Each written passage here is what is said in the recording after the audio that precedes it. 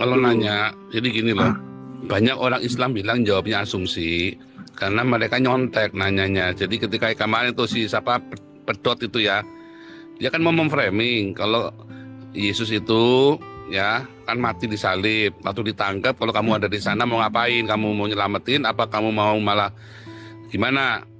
Nah banyak orang Kristen kan nggak bisa jawab tuh karena mereka jawab pada pendepotan semua jawabnya kan, pada bingung kan. Harusnya kamu tuh nyelamatin Yesus. Kayak dulu kan sudah dua kali orang nanya kan, dulu kan. Dulu tempatnya Salomo juga ya, tempatnya Salomo itu ya. Kalau ada orang itu di, di dianiaya di jalan, kamu ngapain dia? Kalau saya bilang dulu ya, kalau ada orang dianiaya di jalan, saya nggak akan langsung ikut campur. Belum tentu yang dianiaya, yang digebukin itu orang benar, ya kan belum tentu yang menganiaya juga itu salah saya akan cek dulu lihat dulu. Dan belum tentu ikut-ikut. Kalau kita di Eropa ya kita telepon polisi. Ya kan? Uh, mau. Ya sebentar Alapsi nanti kalau Alapsi dikasih bicara ya satu menit boleh. Sebentar saya selesaikan tadi ya masalah pertanyaan. Nah si pedot itu lagu nanya, nanya lagi si pedot. Terus bilang Petrus aja Petrus aja mau bantuin sudah nebas sudah angkat pedang loh. Dengan gagah berani mau belain Yesus, dimarahin sama Tuhan Yesus coba. Sarungkan pedangmu, orang yang hidup dengan pedang akan mati dengan pedang. Nggak boleh sama Yesus gimana coba nggak bingung tuh murid-muridnya. Mereka dikira murid-muridnya tuh penakut. Ada Simon orang zelot di situ, itu orang orang pemberani. Nggak, nggak boleh, nggak boleh bantuin. Karena memang Yesus harus disalib dan Yesus memang sedang memberikan dirinya buat ditangkap dan disalib. Jadi nggak boleh bantuin, nggak boleh dimarahin sama Yesus, malah dimarahin coba. Uh, mana si Alapsi nih ya itu tadi ya begitu. Nggak dikasih bicara mutung. Padahal kan mau saya bilang nanti satu menit ya boleh ngomong ya. Uh, oke. Okay. satu menit anda mau tanya boleh kita jadi gini kita ngomong gantian ya. Kalau saya lagi ngomong ya nggak boleh dipotong. Nah nanti selesai saya ngomong nanti kita panggil ya Oh kita tidak boleh ngomong. Nah itu tadi ya. Nah, itulah orang-orang Islam memframing. Kamu pengen pinter masuklah di sini, belajarlah di sini, ya. Kamu pengen pengen pinter masuklah di sini, belajarlah di sini. Ya kamu di, diberi kesempatan buat ngomong, tapi kan kamu takut, takut imanmu goyang. Ya kan? Karena ternyata yang diajarkan sama ustadzmu itu dosbol semua, tai semua yang diajari sama ustadzmu itu. Kok ketawa? Beneran? Yang diajari sama ustadz-ustadzmu, bahkan nabimu saja ngajarin dosbol, ngajarin do, ngajarin karu-karuan. Jangan ketawa, ketawa lagi. Jangan ketawa. Bilang jangan ketawa. Eh, malah ketawa. Nggak bener kamu ini diomongin. Uh, dia bilangin, malah ketawa. Hmm. Jadi harusnya bilangnya gimana? Ya bilangnya wow dong. Nah, itu baru bener. Uh, saya tambah dikit ya teman-teman. Eh ya. malah ketawa sih Pastor Cek ngomong diketawain nggak benar ini orang-orang ini. Aduh. Nah, makanya teman-teman kalau di framing, kok Yesus kok katanya Tuhan disalib diem aja dan lain sebagainya gitu kan? Seakan-akan dia bilang Tuhan tuh nggak berkuasa. Padahal tadi yang Pastor Paul tuh ngomong bener. Ketika si Petrus itu potong kuping orang tuh mujizat Tuhan langsung dinyatakan di saat itu juga. Kupingnya ditempelin lagi saat itu Lalu di Matius 26 ayat 53 kan begini. Atau kau sangka bahwa aku tidak dapat berseru kepada Bapakku supaya segera mengirim lebih dari 12 pasukan malaikat membantu aku? Di situ udah jelas bahwa Yesus itu datang untuk disalib. Kalau Yesus mengundang 12 pasukan malaikat datang membantu dia, waduh, Angel, itu. angel itu bilangin sama mereka. Iya, malaikat-malaikat bisa salto-salto di situ. Angel, angel ya. Coba nih Pastor cek ya. Petrus kan gini, mereka kan murid-murid mau ngelawan nih. Petrus yeah. nebas kupingnya si Malkus hamba imam besar yang mau nangkep Yesus. Lalu kalau oh. terjadi prank bener-bener gubrak begitu. Sementara si Petrus dan murid-muridnya lagi dikebukin, Yesus lagi nyembuhin orang Romawinya Sementara. yang mau nangkep dia. Bingung kan jadi murid-muridnya kan? Hmm. Disembuhin ah. semua sama ya lagi lagi lagi tawuran malah nah, jadi mau diapain? Bingung makanya, gitu loh. Makanya saya bilang, mereka tuh cuma dengar-dengar dari guru-guru mereka doang. Padahal kalau mereka mau baca Alkitab benar-benar, mereka tuh akan terkagum-kagum tentang penyalipan itu. Di mana Yesus tuh benar-benar bisa memikul salib, ya hmm. ya kan? Dia benar-benar mau menyerahkan dirinya.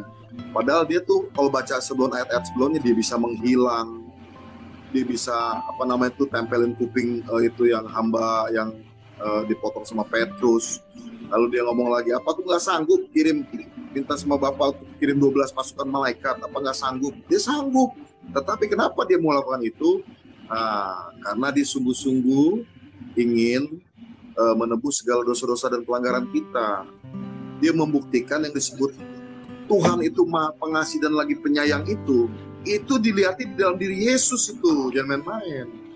Gitu loh. Jangan cuma teriak-teriak pengasih, penyayang, pengasih, penyayang, tapi nggak ada buktinya. Tapi Yesus tuh udah buktikan mati untuk untuk orang untuk untuk umatnya loh, untuk anak-anaknya loh. Nah itu yang saya maksud. Jadi kalau saudara punya punya pasangan nih, ya kan, bilang katanya sayang sayang, ya kan lautan akan kuseberangi, gunung akan kudaki. Tapi begitu hujan kena banjir dia nggak jadi datang. Itu namanya bohong. Cuman di mulut doang. Tapi Yesus sudah buktikan bahwa dia itu maha pengasih lagi penyayang, ya kan? Ya kan panjang sabar dan berlimpah kasih setia Tuhan kata Alkitab. Itu sudah dibuktikan di atas kayu salib itu. Kalau dia mau lakukan bisa nggak? Dia mau pergi dari situ? Bisa nggak dia untuk menyelamatkan diri daripada serangan orang-orang uh, ahli Taurat, orang waris itu dari salib? Bisa, sangat bisa. Tapi dia nggak mau. Ya karena dia tahu Hmm. bahwa darahnya itu berkuasa, darahnya itu kudus, darah itu suci. Cuman darah Yesus doang yang bisa menebus. Itu loh, ya kan? Jangan Kasih ya. tepuk tangan dulu. Kasih plus, kasih plus. Tapi Pak, Aku nanya dong sama eh, sebentar. Tapi kan itu kuping yang dikembalikan ya. Nah itu bagaimana kalau bulan yang dikembalikan yang udah terbelah? Ayo. Ya kalau bulannya dikembalikan nggak ada, adanya durennya dikembaliin. Kamu bawa-bawa bulan ke sini, kamu nggak masuk akal juga. Duren. itu itu belabu duren namanya tuh. Angel, angel. Angel. Sebentar-bentar nih ada Heriati nih. Eh, eh, apa namanya Noni selalu dikasih tempat satu kosong supaya orang Islam bisa masuk kalau ada nama-nama yang sudah dikenal nanti dulu ngalah dulu ini biar ini kan kita mau apa ngajari Iya. orang-orang Islam ini kan selama ini kan dapat pengajaran-pengajaran yang salah dari ustadz-ustadz mereka tentang Alkitab ya kan Oh, silakan Bu Herianti. ya Bu Heriati tuh Oh, Bu. silakan Hmm, mau dengar tanya. Dia aku Katolik mau kan? nanya oh Katolik Aku mau nanya. nggak apa-apa satu menit dosa dosa asal tuh maksudnya piye? Bentar, teologi saya eh, banyak berbeda dengan teologi-teologi pada umumnya, ya. Jadi tidak dosa asal itu nggak ada, ya. Kenapa? Semua dosa itu ya tanggung sendiri-sendiri. Ya, jadi nggak ada yang namanya dosa asal, gitu loh. Dosa waris, dosa asal itu nggak ada. Ya, tetapi kita kenapa kita semua ya terlahir dalam dosa? Bukan karena warisan, ya karena kita dalam gen kita ini sudah ada kesal, ke- sudah ada kesalahan dalam ada dosa itu. Itu bukan warisan ya. Sudah ada potensi untuk itu. Begitu kita lahir ceprot sebentar ya saya ngeliat ada videonya. Eh, coba lihat ya anak bayi misalnya nih bayi dua nih bayi nih terus kasih empengan itu ya kasih dot itu kan. Mereka bisa ngerebut loh. Ini bayi umur satu bulan loh ya. Bisa ngerebut loh. Dari mana itu rebutannya itu? Dari mana? Karena dari hawa nafsunya dia. Yang sudah dikuasai hawa nafsu tadi kejadian 6 tadi. Semua manusia ya kecenderungan hatinya selalu jahat.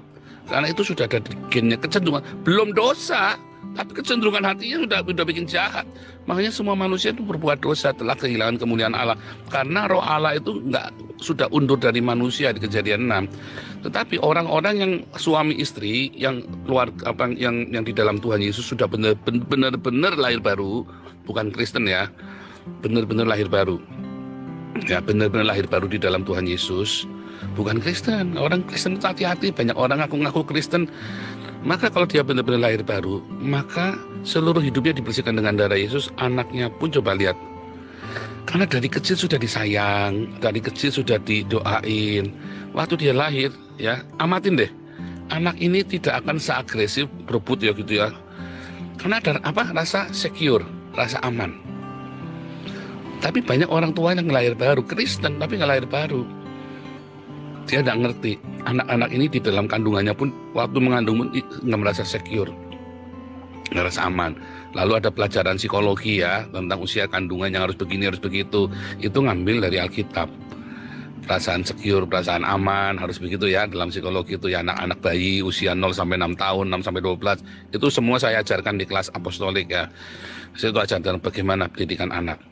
Eh, gitu ya. Jadi nggak ada dosa asal, dosa waris itu nggak ada. Kalau kalau nanya lagi ya, ke aku tidak membatalkan hukum Taurat. Tolong ceritain dong Pak Paul yang Siapa yang aku tidak membatalkan hukum Taurat? Siapa? kan aku Nggak, Tuhan. nggak. Oh, nggak ada. Ayatnya nggak ada.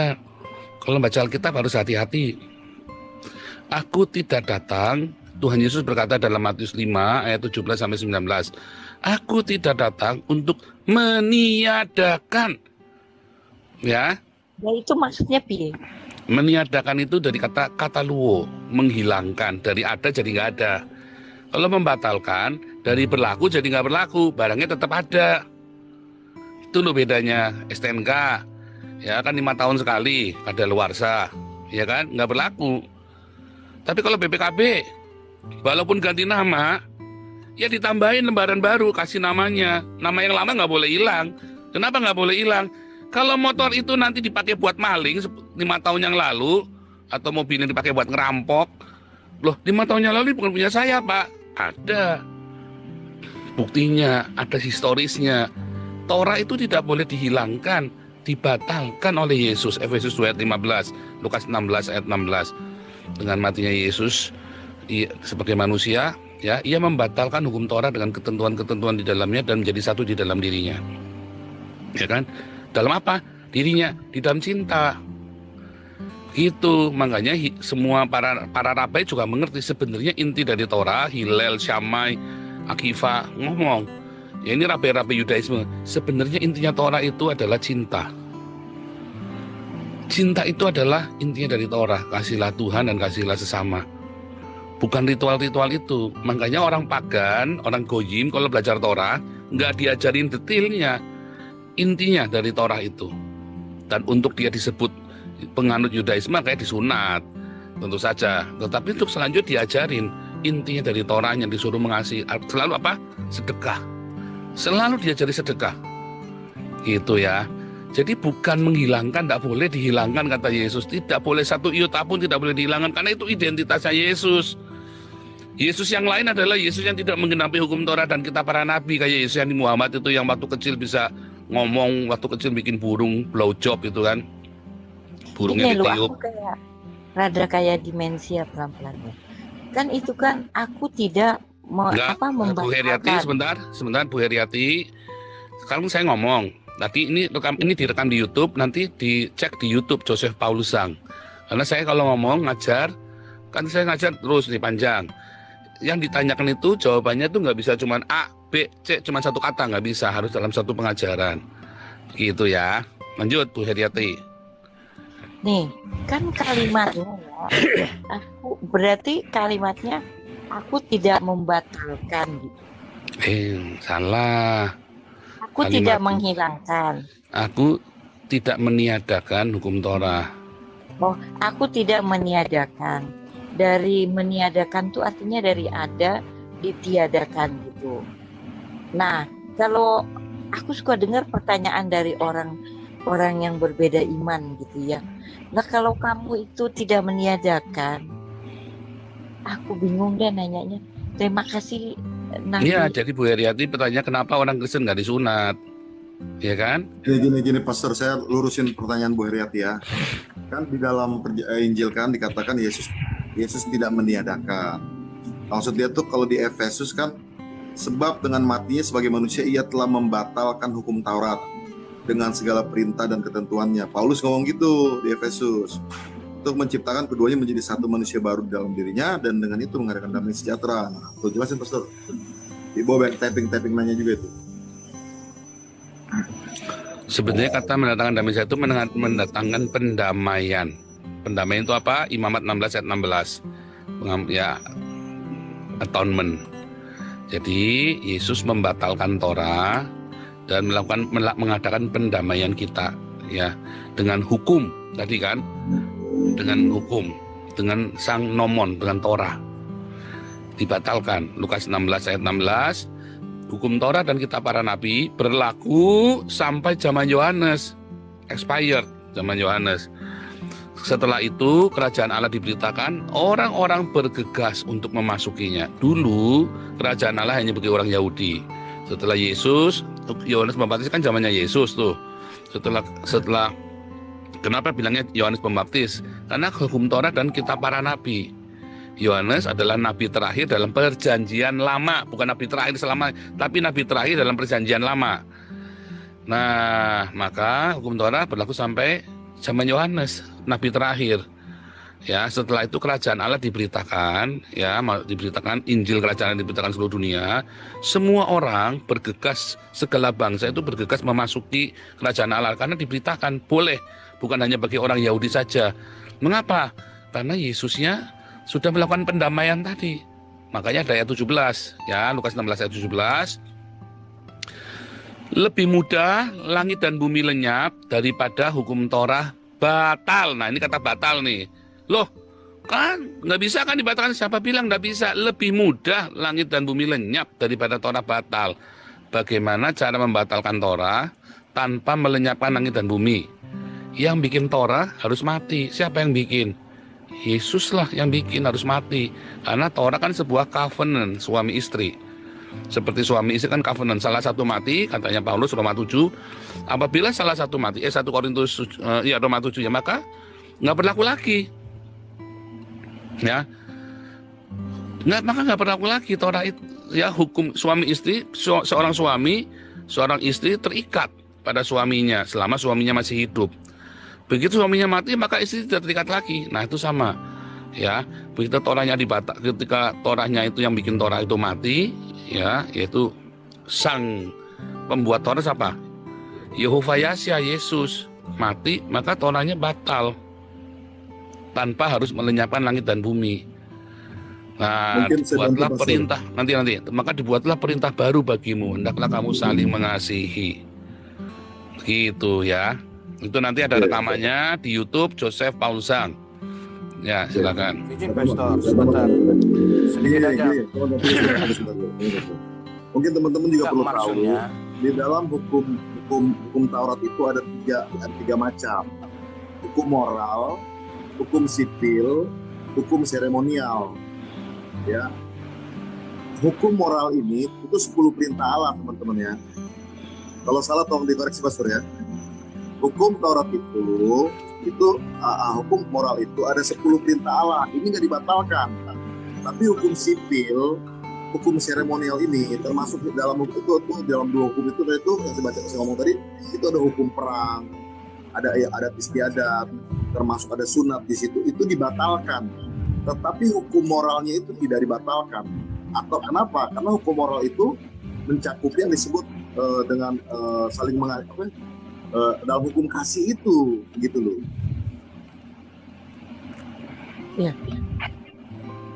Bisa eh, izin Pastor. ya or olam Saya silakan. or olam. ini, Bu. or olam dulu or olam. Oke, izin. sebentar sanggam. Or olam dulu sanggam. Ya Saya nggak menjelaskan, saya bantu. Mungkin yang ditanyakan Ibu Heriasi tadi adalah Matius 5 ayat 17 tentang Tuhan Yesus, aku datang bukan untuk untuk menggenapi hukum Taurat. Nah, lalu kemudian yang masalah dosa tadi eh, mungkin yang ditanya di situ adalah Mazmur 51 ayat 5. Begitu, Pastor.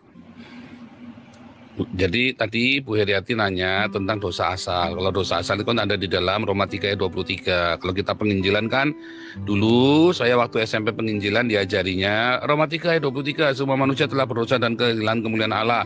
Lalu kita diajari tentang 4E 5 apalagi itu ya 5E apa apa itu ya bahwa ya navigator segala macam kan ngajarin bahwa kita ini ada dosa waris. Nah itu loh. Sampai dengan 10 tahun yang lalu saya masih ngertinya dosa waris. Sampai saya belajar sendiri ngerti oh nggak ada dosa waris. Kalau yang Daud bilang Mazmur 51 ya. Lalu apa maksudnya Daud itu itu ada cerita lagi nanti saya ceritain tuh. Nah, tentang eh, mengapa Daud itu berkata dalam kesalahan aku dikandung ibuku dalam dosa aku diperanakan dalam kesalahan aku dikandung ibuku. Ternyata itu ada behind skin cerita itu. Daud itu dulu tuh dituduh anak haram. Makanya dia bilang kan mukanya kemerah-merahan. Lain sendiri dari saudara-saudaranya. Mukanya kemerah-merahan. Lalu saudara-saudaranya bilang kamu ini anaknya siapa? Bapaknya pun bingung kamu ini siapa bukan anakku. Ternyata si Daud itu bukan anak haram, tetapi malam-malam suatu ketika si bapaknya Daud ini ya sudah lama ya dia di- disuruh poligami nggak mau ya tapi terus tiba-tiba dia ngeliat pembantu istrinya budak istrinya. Terus dia bilang kamu nanti malam kamu mau nggak tidur sama aku? Nah lalu si budak istrinya ini laporan sama si istrinya gitu ya. Terus istrinya bilang loh kok aneh? Dulu disuruh kawin lagi nggak mau. Sekarang malam itu sama kamu. Ada apa nih maka malam-malam istrinya itu nyamar. Jadi si budak ini pakai pakaiannya budak ini nyamar. Lalu tidurlah si bapaknya Daud sama yang dikira budak istrinya padahal sebenarnya istrinya sendiri. Setahun kemudian tiba-tiba si istrinya ini hamil. Bingung loh ini anaknya siapa nah itulah namanya dalam kesalahan aku dikandung ibuku dalam dalam dosa aku diperanakan dalam kesalahan apa dalam kesalahan aku di eh, apa diperanakan dalam dosa aku dikandung ibuku. Nah itu dimaksud itu. Itu cerita behind skinnya cerita itu karena Daud disebut anak haram. Setelah Daud jadi raja itu baru diceritain gitu ya. Baru diceritain ya bahwa sebenarnya kamu itu anak bapakmu, anaknya Isai. Bukan anak haram. Gitu loh. Itu ada ceritanya ya, Mazmur 51 itu ada behind skinnya dalam tradisi Yahudi. Nah itu eh, Rabai sebentar saya lupa namanya ya. Moshe Lave. Nanti Anda cek Moshe Lave ya di, di Google itu ya. Itu dosen saya tuh. Nah, itu yang cerita itu Moshe Lave. Itu ada di dalam Talmud ya, ada di dalam Talmud. Tapi kalau nyari lagi saya sulit kelamaan. Nah, kalau yang Efesus eh, apa yang Matius 5 ayat 17 itu memang adalah bedakan kata meniadakan dengan membatalkan. Banyak orang Kristen tidak ngerti. Kata meniadakan dari kata luo, kata membatalkan dari kata regio. Ya, tadi sudah ilustrasinya sudah saya kasih tahu. STNK ada luarsa. Nah, itu namanya katargio. STNK ganti tangan. Ya kan? Namanya katargio. STNK apa ganti warna. Sepeda motornya atau mobilnya ganti warna. Maka dibatalkan STN lama, ganti warna merah jadi warna biru misalnya kan. STNK lamanya dibatalin. Tapi kalau PPKP nggak boleh dihilangkan karena walaupun ganti warna, ganti, ganti warna, ganti kepemilikan, ganti tetap historisnya harus ada. Nah itu sama tuh, nggak boleh dihilangkan. Tapi STNK-nya dibatalkan, diganti STNK yang baru yang sesuai dengan kepemilikan itu sama seperti Torah, nggak boleh dihilangkan nggak boleh karena itu adalah ciri-ciri ya. Tadi kalau yang masalah hukum moral hukum itu semua sebenarnya nggak bukan seperti itu. Tetapi intinya sudah dibatalkan. Kita orang non Yahudi tidak perlu melakukan Torah ya. Tidak perlu kita melakukan Torah yang sesuai dengan kepemilikan itu. Sama seperti Torah. Nggak boleh dihilangkan. Nggak boleh karena itu adalah ciri-ciri ya baru. Kalau gitu kita nggak usah hormat sama orang tua dong. Loh, di perjanjian bilang apa? Hormatilah orang tuamu. Nah, loh kalau gitu kita kita bohong saja. Oh bilang pendusta tidak masuk kerajaan Allah. Kalau gitu kita berzina. Oh hati-hati. Ya Allah tidak memberikan diri dimainkan. Jauhilah dirimu dari percabulan. Ya kan? Tubuhmu adalah bait Allah. Kalau gitu kita boleh eh, membunuh dong. Kamu mau benci aja sudah bunuh. Kalau gitu kita boleh berzina dong. Kamu baru ngeliat perempuan kepengin aja udah udah berzina tuh. Artinya malah justru di dalam perjanjian baru ketika Yesus berkata, Aku berkata kepadamu, hendaklah kamu saling mengasihi dan kata apa? Semua apa disuruh mengasihi musuh-musuh. Kita justru punya satu standar yang lebih tinggi daripada sekedar 613 yang kepada orang Yahudi itu. Artinya Torah itu bukan bukan kita baca jadi aturan yang tertulis, tapi Torah itu ada di dalam roh kita. Yeremia 31 ayat 31 sampai 35 35. Torah itu adalah Roh Kudus yang ditaruh. Nah, itulah Torah yang yang Tuhan mau buat kita. Itu ya akan tiba saatnya orang tua apa anak orang apa ayah makan buah muda, anak-anak yang sakit gigi akan nanti saat itu belum Setiap orang tua bikin dosa, maka kutuk itu kepada anak-anaknya. Itu bukan dosa waris, tetapi memang konsekuensi. Kalau dosa waris kan ujuk-ujuk nggak ada konsekuensi, tapi ini konsekuensi. Setiap kali orang tua bikin salah, anak-anak yang selalu harus menanggung generasi berikutnya, selalu yang menanggung. Itu konsekuensi, hukum konsekuensi. Jadi bukan dosa waris, lebih tepat dengan konsekuensi dari setiap perbuatan kita. Kalau kita percaya kayak Abraham, konsekuensinya segala bang, seluruh keturunannya dia akan diberkati. Kalau kita seperti eh, apa namanya, eh, seperti eh, Kanaan, seperti Ham, maka konsekuensinya anak cucunya yang nanggung, si Kanaan itu yang nanggung dan seterusnya. Begitu ya, Bu Heriati. Mungkin kalau ini satu-satu ya. Ya terima kasih Pak, sedikit aja saya respon ya. Iya, kolam. Pak Oh. Boleh Pak Paul? Boleh, 30 Pak detik aja. Saya jujur ya, saya baru mendapatkan pengertian yang baru dari Mazmur 51 tadi.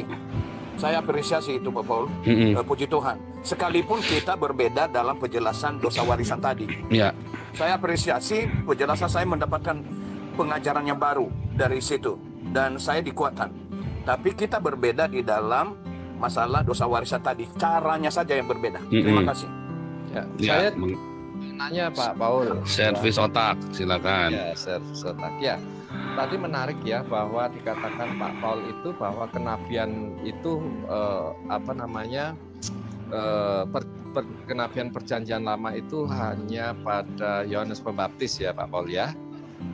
Nah, apakah eh, setelah itu ada lagi kata nevi di dalam perjanjian baru? Atau mungkin nevi itu atau nabi itu dalam tradisi iman eh, Yahudi atau iman Kristen itu di luar Yahudi apakah boleh menggunakan kata nabi atau nabi dalam tradisi Torah? Begitu Pak Paul sehingga bagaimana dengan nabi yang di padang pasir itu dia teriak-teriak nabi itu apakah masuk kategori nabi di dalam?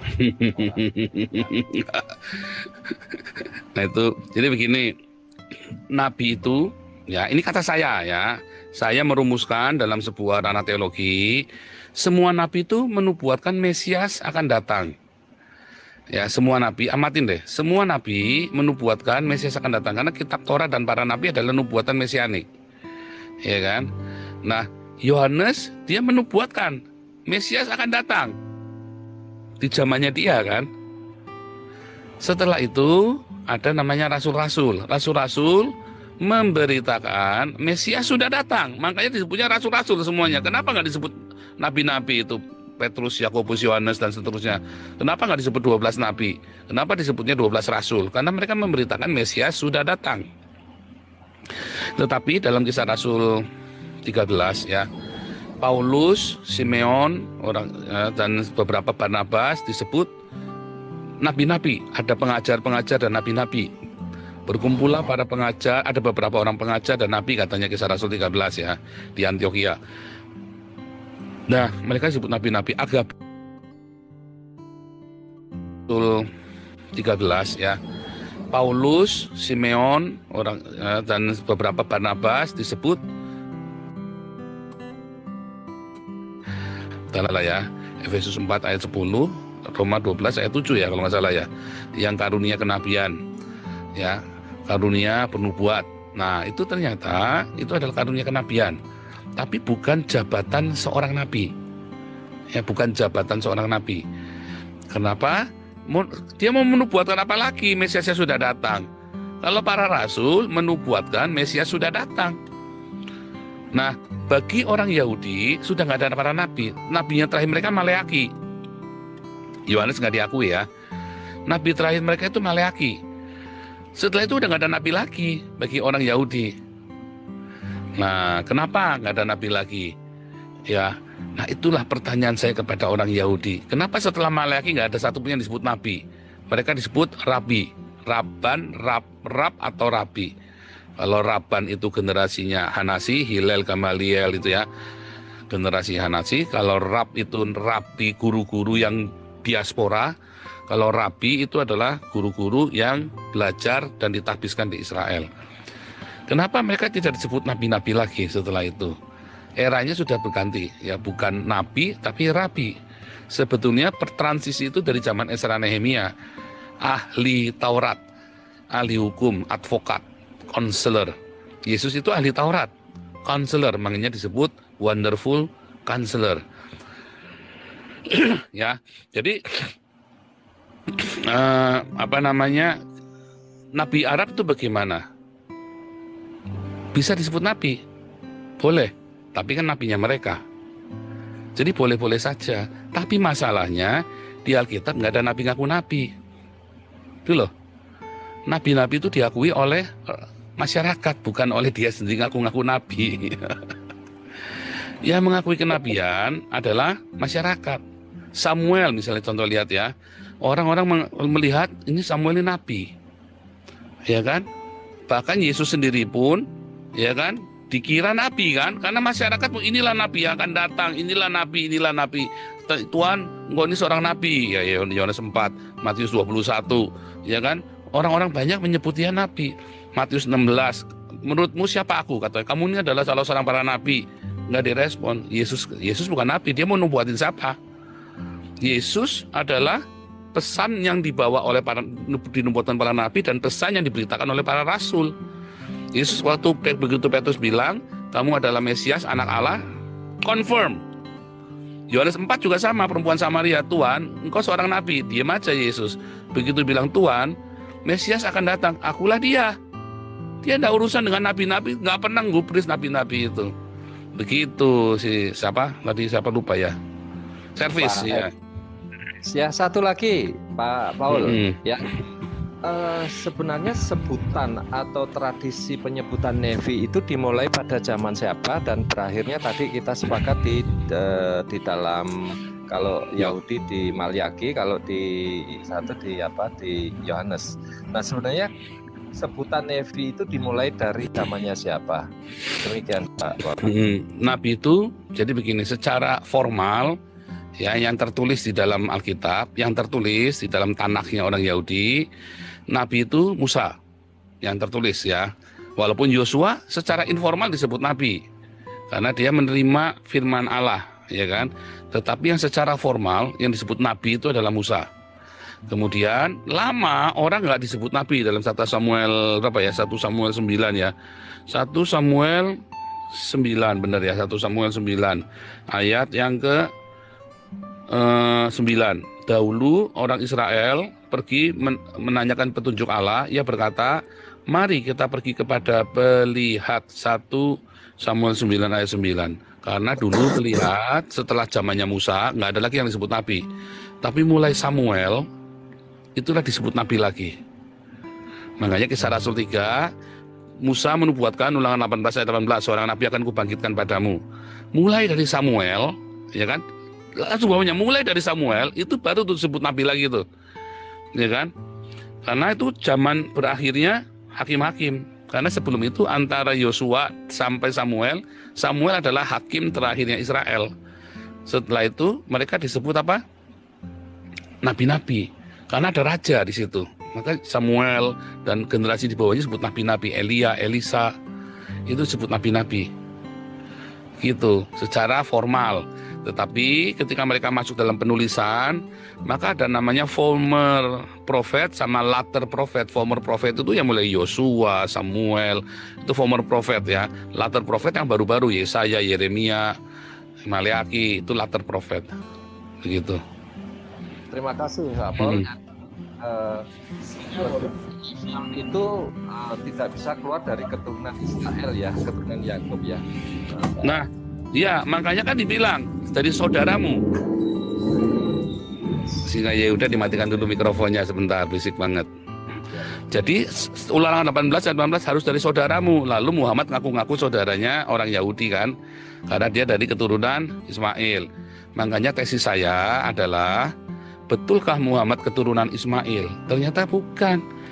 Muhammad ya dari Hashimid, suku Quraisy ya dan keturunannya Abdul Adnan. Abdul Adnan itu orang Nabatean.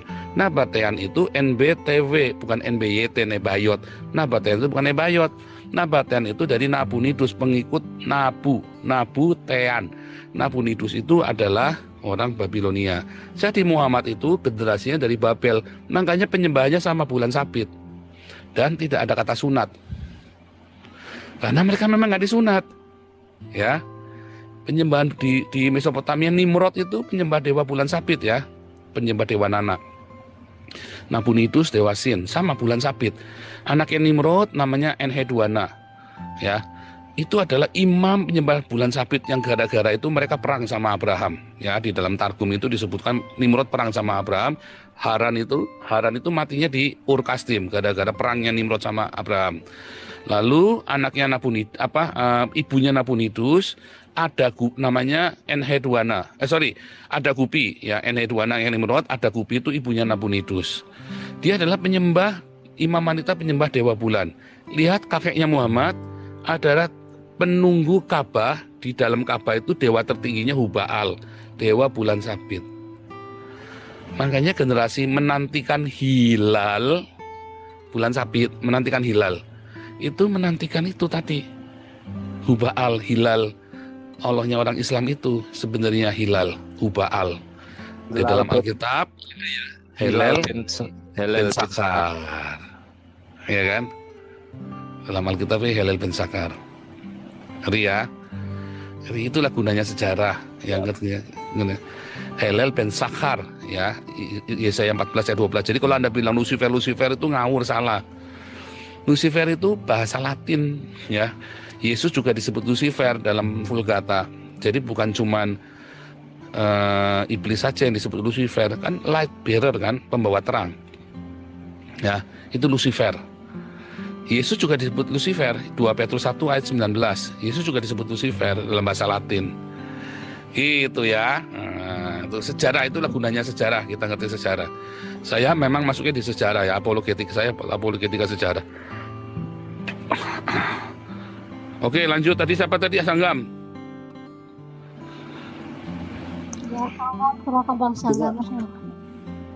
Ya, hanya menambahkan yang tadi bahwa eh, Taurat apa? Dengarlah Israel kita ibu Esa kasihlah Tuhan Allahmu dengan segenap hatimu segenap akal budi kekuatanmu dan hukum yang sama dengan itu equal bukan dengan kasihlah sama manusia.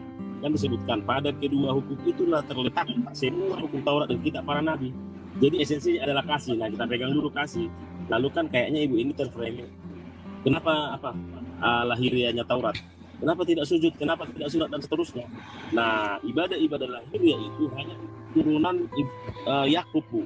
Tetapi esensinya buat kita karena Yesus menggenapi hukum Taurat dan itu yang tadinya menjadi hukum positif orang Israel karena epicentrum penyembahan orang Israel harus ada bait suci tahun 70 Masehi oleh Jenderal Titus dihancurkan. Jadi sejak saat itu itu menjadi tradisi mereka bukan hukum positif lagi. Makanya di Israel saat ini LGBT pun tidak dirajam. Tetapi kita juga melakukan hukum Taurat di dalam esensi yang sempurna yang lebih tinggi sudah dijelaskan Pak Paul. Apa itu? Misalnya dalam hukum Taurat ketahuan berzina secara fisik dirajam. Tetapi kita jangankan ketahuan berpikir jorok aja terhadap wanita sudah terkena hukum Taurat. Jadi esensi hukum Taurat kita lakukan, tetapi ritual fisik itu untuk turunan Yakub.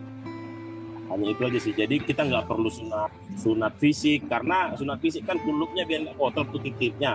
Tetapi buat apa di bersih titikmu hatimu kotor? Jadi kita sunat hati. Lagi-lagi kita yang yang batinnya hanya yang ruhnya. Jadi esensi hukum Taurat kita lakukan. Ritual fisik itu tetap untuk orang Israel.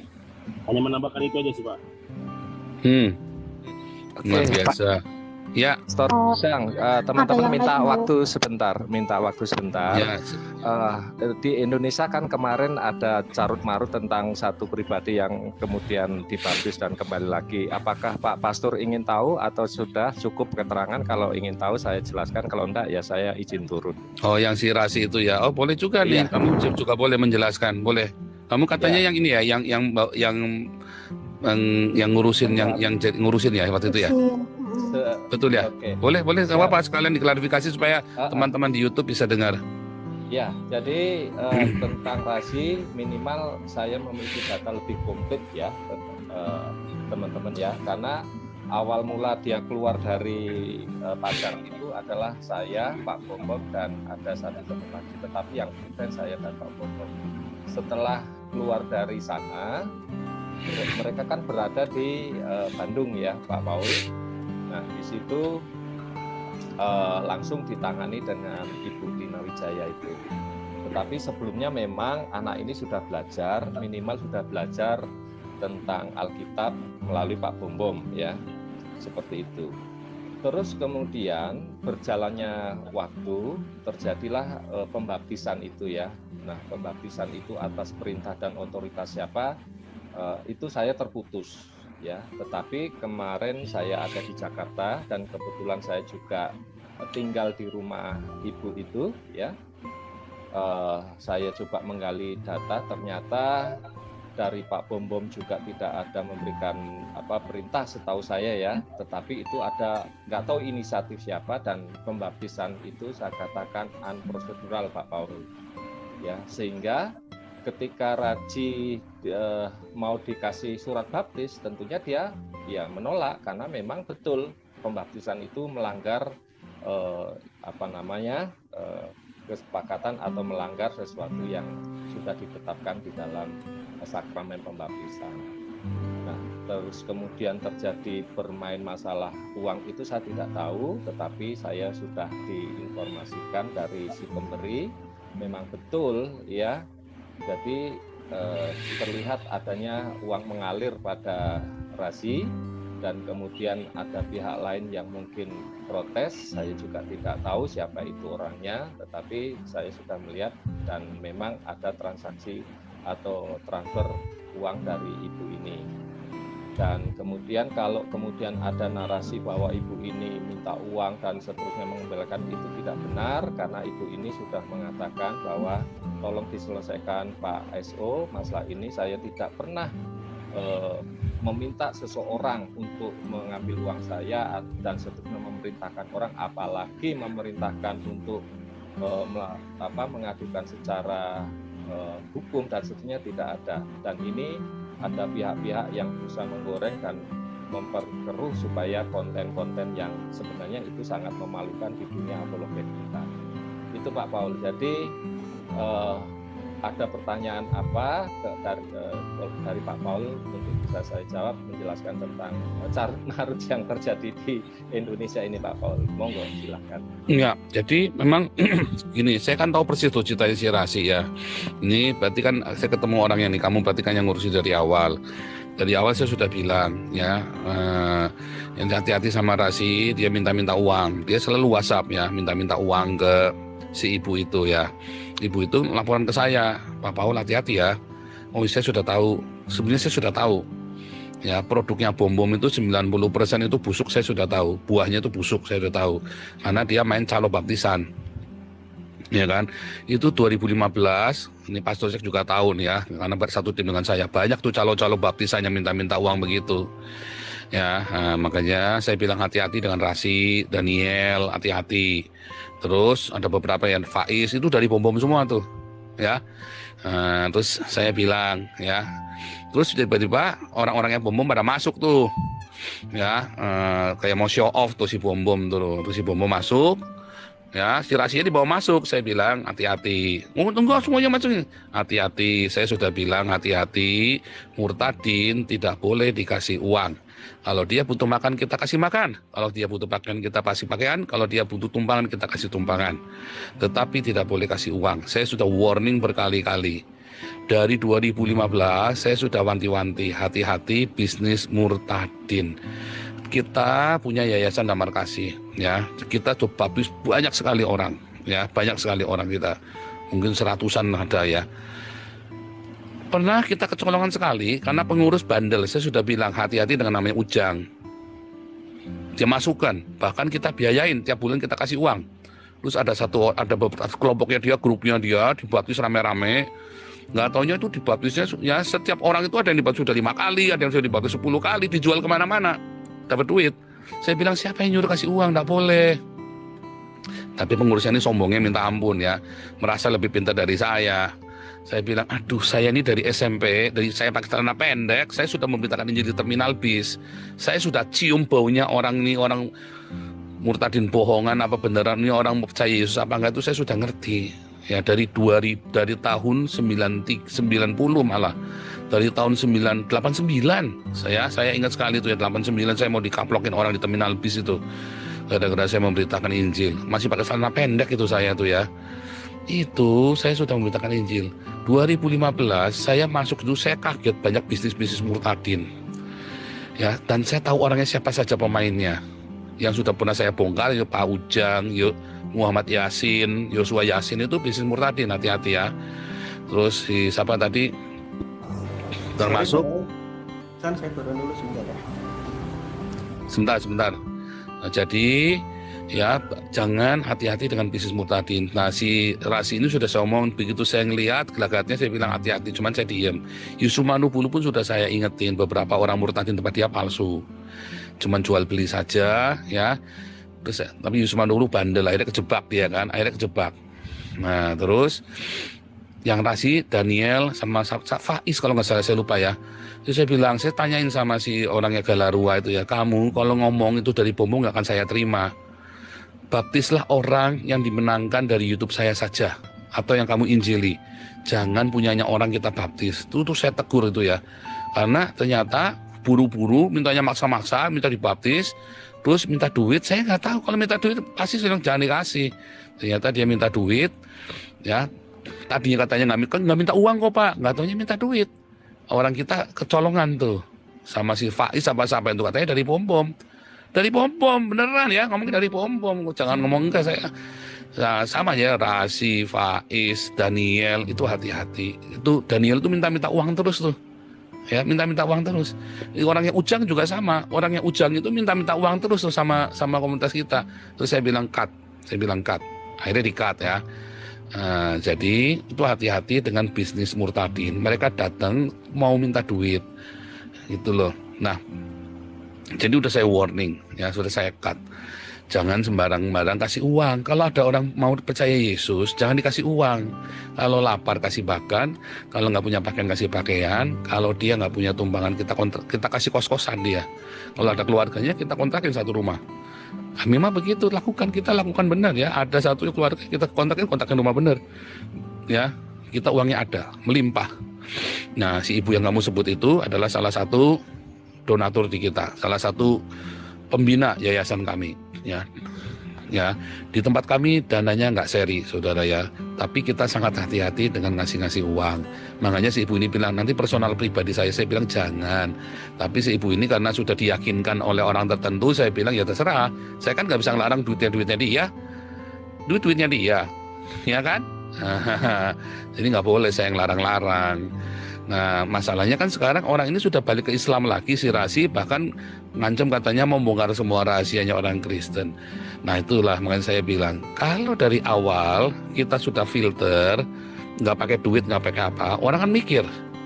Orang mau masuk komunitas saya, dia tahu nggak ada duitnya, tapi kita cukupkan kebutuhan dia. Mau nggak mau dia kudu ikut sama kita terus, kudu ikut pemuritan kita. Begitu lolos kita nggak support lagi, kos-kosannya kita kita lepas. Tapi kalau kamu selama ikut pemuritan, ikut doa pagi, sembah kamu kita kita supply, apa namanya? Ya kontrakannya pun kita bayarin. Selama dia ikut doa pagi dan ikut pemuritan, pemuritan kita panjang ya. 8 8 level pertama 8 kali pertemuan, 16 kali pertemuan. Jadi totalnya ada 22 kali pertemuan. Setidak-tidaknya itu ada enam bulan mereka harus ikut pemuritan kita. Setelah enam bulan terserah kamu, ya kan? Kalau dia kembali, oke dia tetap di kita, kita support, nggak sama kita, kita lepas. Gitu ya, service otak itu makanya saya bilang hati-hati, hati-hati. Terima kasih Pak Mm-mm. Pak Paul. Uh, jadi Ya, sebentar Mas sebentar Pak Jackling, sebentar saya supaya Ya ini biar biar juga. service otak itu klarifikasi masalah rasi itu ya. Soalnya rasi Nah. itu memang bikin ruwet itu ya.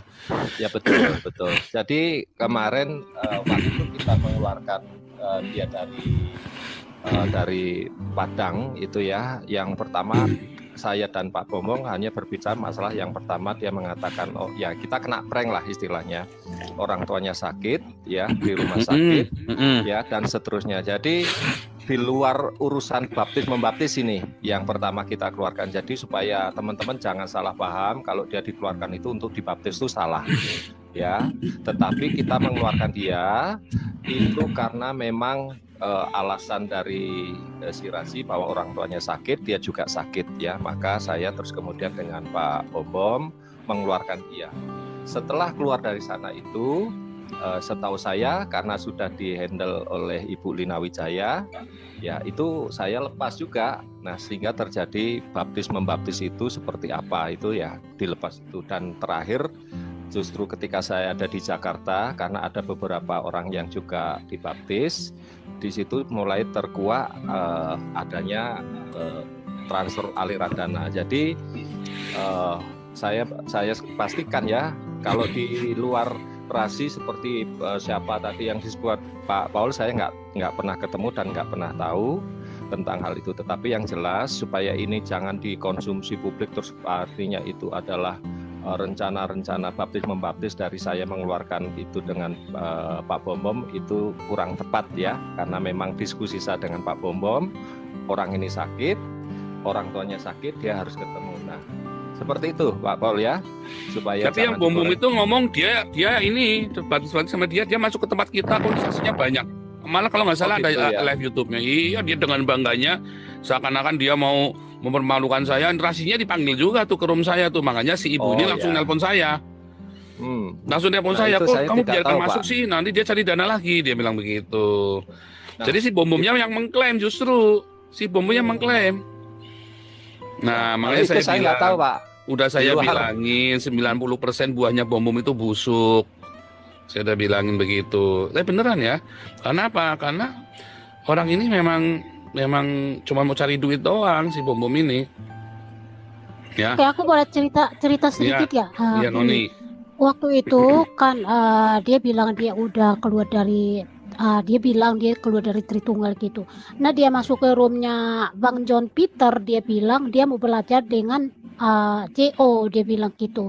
Sama Pak Pak apa Pak John Peter bilang kami orang JO nggak kaya, kami orang JO nggak kaya, jadi nggak apa-apa kamu tetap aja di Tritunggal. Ditolak dia masuk ke room-room itu karena dari ah, dari Pak John itu udah tahu kalau mem itu dia mau cari cari ini lagi tuh ya cari duit lagi.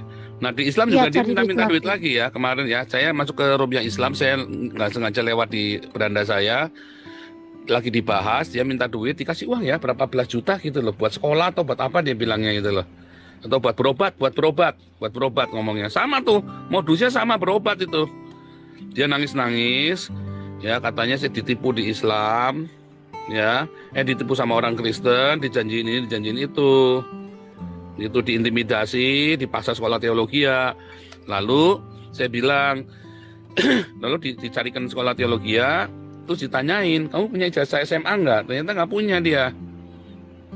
Tapi katanya dia dipaksa sekolah teologi ya. Nggak ada ya di dalam Kristen sekolah teologi ya. Nah, dipaksa masuk STT mungkin, mungkin sih mungkin ya. Dia nyuruh dia ikut pemuridan itu loh, maksudnya pemuridan kita tapi dia mengiranya sekolah teologi ya. Tapi ngomongnya minta duit. Sekolah teologi dia butuh uang buat sekolah teologi ya. Padahal semua orang yang kita baptis, pemuridan itu nggak bayar gratis. Sampai dia sampai kelas apostolik pun ya, itu kurang lebih satu setengah tahun dia ya. Total kelas kita nggak usah bayar. Gratis kalau yang dibaptis di tempat kita. Kan aneh kan kalau tiba-tiba dia minta uang ini kan, rumah gantengnya ya, si Rasi ini gantengnya minta ampun saudara ya. Ini ini mu- muka-muka gini ini muka-muka waktu kecil kurang gizi saudara ya. Nah, tapi enggak beneran ya, Eh, kayak si Jack Ma itu kan mukanya kan kayak Jack Ma muka kurang gizi kan.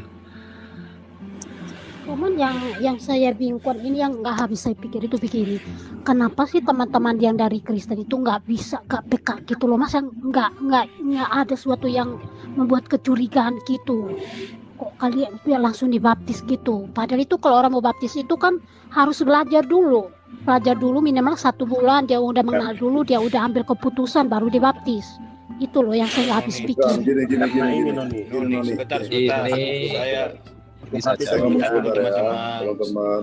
saya tambahkan dulu sebentar. Sebentar. Gini, Sebentar. Olam olam biar cek pasal cek dulu nanti baru Pak Olam ya. Satu menit satu menit silakan Gini, gini. cek. Bener orang orang- dibaptis itu memang eh, belajar boleh belakangan. Tetapi kita mesti bisa membedakan roh dia dulu. Ini orang sungguh-sungguh atau enggak? Kita mesti punya hikmat dulu. Bener kan ini orang bener-bener mau dibaptis bener-bener dari hati atau bukan? Karena motivasi atau bukan? Gitu yang saya maksud. Kenapa? Karena jangankan dia yang baru mau masuk Kristen kan?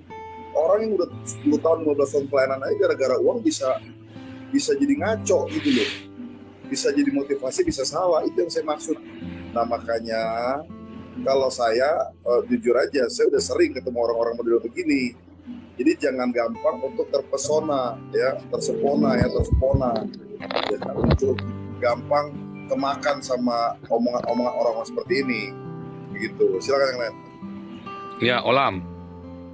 Iya, jadi teman-teman mohon maaf ini.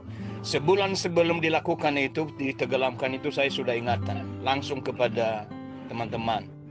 Terus kemudian dua hari sebelum dia eh, kembali, saya juga sudah ngomong di koma langsung saya bicara. Saya bilang hati-hati. Kemudian saya WA kepada salah seorang teman. Saya bilang ini hati-hati pak. Ini akan kembali. Dia bilang ah gak mungkin. Yang penting saya sudah ingatkan saya sudah ingatkan dan sebelum saya tidak merasa berdosa. Jadi memang teman-teman, saya 15 tahun di lapangan. Yang begini-gini saya sudah sering hadapi. Ada orang yang satu tahun kita udah ajari nggak jadi saya baptis. Kenapa? Karena motivasinya motivasi adalah materi. Jadi kita harus uji itu semua. Nah, saya rasa cukuplah apa pengalamannya sudah terjadi ini sudah cukup memberikan kepada kita pelajaran kita tidak usah lagi saling menyalahkan satu terhadap yang lain. Demikian Pak. Eh, Bapak. Ya, ya, ya, ya, ya. Cukup ya, Jadi- Paul ya. Ya cukup, itu benar nggak apa-apa itu bagus tuh klarifikasi. Jadi kita ngerti asal usulnya orang ini kan. Eh, betul ya. Jadi saya udah ngomong ya. eh, kalau masalah membaptis, sebenarnya begini, kita boleh langsung kita baptis. Tetapi pegangan dia kan adalah surat baptisan itu yang buat dia pamer-pamerin. Makanya kalau orang belum selesai pemuridan kita, dia nggak kita kasih kartu baptisnya, surat baptisnya nggak kita kasih. Ya, jadi nggak masalah dia dibaptis dulu apa enggak. Tetapi yang paling penting jangan jangan buru-buru kasih surat baptis dan jangan apa namanya kasih uang. Jangan hati-hati tuh, ya. Jadi yang benar apa? Ya kalau dia butuh makan kita kasih makan. Kalau memang ada keluarga yang sakit kita cek bener nggak. Jangan kata dia, jangan kasih uang. Kita mah kalau ada jemaat kita yang sakit pun kita datangin rumah sakitnya kita bayarin di di, di rumah sakitnya. Bukan kita kasih uang ke dia. Kecuali meninggal ya ibunya meninggal bapaknya meninggal ya kita kasih uang. Orang meninggal kan butuh buat pemakaman. Emang mau makamin sendiri ya makamin sendiri nggak apa-apa dia gali kuburan sendiri kan boleh-boleh aja tapi kita kasih uangnya. Beda itu beda ya. Tapi kalau sakit biasanya kita kasih ke rumah sakitnya. Ternyata oh, sudah ada yang bayar rumah sakitnya. Ya udah kita nggak terusin.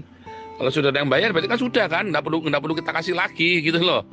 Nah, tapi ada orang yang yang dia apa ide kayak jualan ya WhatsApp satu-satu di, dimintain duit satu-satu ah, sehingga ibunya sakit biaya 10 juta dia dapat 200 juta tuh.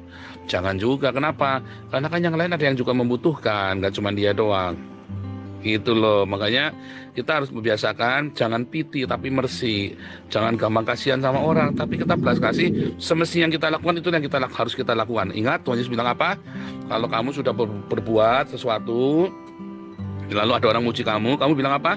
Kami hanyalah hamba-hamba tak berguna yang melakukan apa yang seharusnya kami lakukan. Jadi bukan karena kita hebat ya. Kalau kita itu kan wah saya kasih duit menang-menang punya duit kita kasih kasih kasih begitu. Nah nasi ibu ini langsung warning saya ya. Hati-hati ya. Jangan sampai dia minta dana lagi ya. Saya lihat orang ini masuk ke tempatmu nah itu benar ya. Oh itu itu sudah aturan aturan di kita. Kalau kamu mau kasih saya bilang sa- saya sarankan tidak ngasih personal. Karena apa? Karena yayasan kami survei. Kita survei kita punya tim survei semuanya. Kita senang hati nolong orang tapi kita survei kita nggak sembarangan. Karena apa? Kalau salah kasih orang yang yang yang butuh pertolongan nggak ketolong yang nggak butuh ditolong malah kita kasih duit gara-gara kita ketipu. Kan goblok kita ini ini kan? Itu seperti itu ya. Nah, ini mukanya si Rasi KTP-nya aja saya punya. Coba bayangin KTP-nya aja saya punya. Jangan kan cuma mukanya, KTP-nya saya punya. Ini servis otak bagus ya. Jadi supaya tahu nih orang asal usulnya dari mana. Sekarang lagi minta-minta sama orang Islam nih dia nih. Karena berhasil ngelap dia orang Islamnya puas, dia berhasil ngerjain kita. Itu ya, luar biasa nih. Lanjut, Terima ini kasih. ada Ya, ada orang Pak Aceh Iya, nih. Pak Pak Paul saya sekalian turun. Jadi urusan ini sudah kita Clear, anggap udah clear, udah dan- clear banget itu. Dan sudah saya siar, saya juga masuk ke room API ya, grupnya mereka API Sumut untuk saya ketemu dengan Raji, saya katakan Raji, eh, silahkan nikmati berkat yang sudah kamu terima dan dari pihak yang memberi tidak ada memerintahkan untuk meminta uang itu ya itu ada adalah orang-orang yang tidak bertanggung jawab kalau ada Oh, yang mengatakan iya. itu. Ya betul Gitu ya ya. servis otak ya. Tidak ada kita meminta balik uang itu, tidak ada. Ya. Ya, Jadi tem- teman-teman yang yang jadi korban kebetulan saya kenal ya orang-orangnya. Mereka berkata enggak lah kita sudah ikhlasin. Kalau memang dia kalau memang dia apa memang cari duitnya begitu? Lah ya mau gimana? Ya maaf ya duit kami nggak seri dia bilang begitu. Ya betul Pak, betul. Ya dan ya dan dan juga saya ingatkan, saya ingatkan juga sama Raji sudah close ya jangan juga sebut-sebut ibu ini di komal-komalmu seperti saya uang itu nikmati saja dan juga tidak ada urusan yang mau melaporkan dan sebagainya dari Puas uh, ibu ini. Ya clear semua teman-teman. Tuhan memberkati. Jadi luar biasa. ya. tepuk tangan buat servis Iya. otak. Eh salah. Aduh salah salah salah. Sebentar sebentar. Uh, Oke, izin turun Pak Paul. luar Teman-teman biasa ya, SO ya. luar biasa Oke, Tuhan memberkati semuanya. God bless you semua Izin juga ya Pak Paul, izin turun juga Pak Paul. Iya, Saya Olam. sudah senang ini. Ya. luar biasa Tuhan olah memberkati. Shalom. Shalom. Shalom, shalom. nah ini ada Oke, Ada- itu ada ada- yang baru ini- naik ini- ini- itu ini siapa ada- ya? ah, ini orang orang Aceh ini hati-hati nih ini komandan GAM ini Oh, eh kesalah pencet lagi kan ini ini panglima GAM ini jangan macam-macam ini harus kasih kasih musik yang keren ini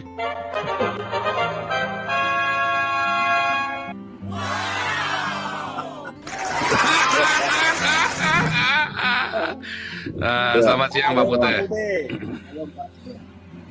Jadi teman-teman, bagi kita ya yang mau mensupport mereka, orang yang mensupport itu nggak miskin loh, gara-gara memberi.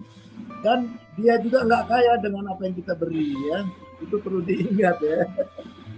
Kan orang ini sebenarnya sudah menjadi uh, bagian dari pelayanan kita. Kita mau, mau tempatkan dia di satu tempat sekitar Jawa Barat, kita mau support dia. Tapi kalau di kami seperti Pak Paul bilang, kita tidak mau pernah mau kasih uang cash, tapi segala kebutuhannya kita keluarkan mereka dari Hmm. tempat mana mereka berada. Semua kebutuhannya kita siapkan. Kita siapkan. Kita Nah, gara-gara nggak mau dikasih uang cash itu, terus dia mengkhianati kita. ah. Kemudian dia cari orang-orang yang lain. Kami di kami itu nggak pernah loh. Kita Cari korban yang lain. Dia cari korban yang lain, ternyata kita udah blok semua. Makanya Iya, dia nyebrang ke Islam lagi, balik lagi, udah nggak bisa nipu soalnya. Posko kita banyak loh, hampir seluruh. Indonesia. Orang-orang seperti ini kita tampung. Bahkan beberapa yang agak bandel, handphonenya kita hanya kasih di Sabtu, Minggu dan Senin. Selasa sampai Sabtu pagi kita- sama kita masih. Supaya mereka fokus dalam pelatihan dan pengajaran serta pembinaan kontekstual. Jadi benarlah kita close aja nih orang yang memberi nggak miskin kok percaya deh dia juga nggak bisa kaya Cuman kita lihat aja ntar lagi orang-orang yang mensupport dia pada kecewa dari pihak sana. Sebenarnya kalau pihak kita udahlah tutup buku aja. Itu aja Pak Paul. Thank you Pak Paul. Ya, luar biasa. Lanjut, silakan Bang Jack, Bang Jack mau bicara. Bang Jack. Ya teman-teman makanya eh, menjadi orang Kristen itu bukan hanya kita itu dituntut kasihnya, tetapi juga dituntut hikmatnya. Ingat itu. Pernah satu kali saya ke Israel itu bawa rombongan, di sono satu rombongan dibohongin tuh, gara-gara katanya akan dibangun bait Allah di sono. Siapa yang mau nyumbang, mau nyumbang, mau nyumbang. Aduh. Suruh nyumbang, suruh nyumbang ya donasi ya, Iya. gila itu. Begitu saya tahu, saya kaget, saya marah langsung ke mereka itu. Saya kena itu loh. Kena ya? Waduh, makanya saya bilang gini, kalian harus tahu ya, dan harus pinter. Jadi orang Kristen tuh harus pinter. Jadi anak Tuhan tuh harus pinter. Kenapa? Karena Tuhan tuh kasih hikmat ya. Lalu saya bilang begini, kamu mikir gak, kamu menyumbang bangsa Israel? Israel tuh kaya, gak perlu uang kalian, saya kasih tahu. Dari teknologinya aja kalau kalian pergi tuh ke daerah mana tuh saya lupa. Itu ada ada apa namanya tuh ada tempat-tempat khusus tuh Microsoft Microsoft tuh tempat Microsoft ini Microsoft ini Microsoft ini waduh saya bilang kalian tuh dibodohin minta ampun. Itu dapat uang banyak banget. Get lokal tuh somelin buat lokalnya bisa-bisa hari itu tuh. Saya bilang gitu.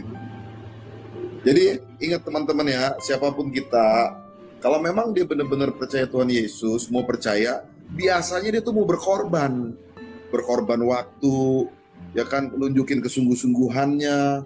Lalu juga mau di mau di mau dibimbing untuk baca firman dan lain sebagainya. Kalau cuma mau jadi orang Kristen doang mau percaya dia pikir jadi orang Kristen itu enak, dia salah. Gitu loh, karena jadi orang Kristen itu harus menyangkal diri.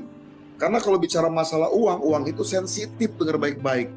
Orang itu punya uang jangankan orang dunia, orang Kristen punya uang pun bisa jadi liar.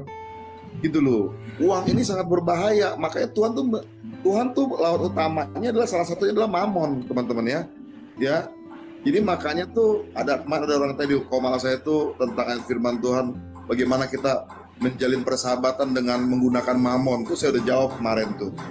Gitu teman-teman. Jadi hati-hati harus berhikmat menghadapi orang-orang yang memang mau sungguh-sungguh jadi orang. Tapi juga jangan mencurigai nggak boleh juga. Ya kita tulus-tulus saja. Tapi di dalam ketulusan kita itu kita sambil punya minta hikmat dari Tuhan untuk mencerna orang ini siapa. Gitu. Terima kasih. Oke. Mana nih orang Islam nih? Nggak ada yang berani masuk lagi ya? Yang mau bicara ini ya baru kena gini siapa ini? Yang baru kena gini siapa? Shalom, shalom. Shalom. Shalom. Shalom. Iya. Dua hari yang lalu itu si Nandar berkuar-kuar itu Pak Paul. Katanya Pak Paul kalah itu. Mengenai apa itu Pak? Paul? Ya, Inanda. Inanda. Nggak berani dia. Nggak berani dia. mengenai aku aku adalah aku. Dia bilang itu. Si Paul itu KO kalah gitu. Kok aku adalah aku? Kok aku adalah aku? J- Jadi Nandar kesani nantang Yesus itu kawin.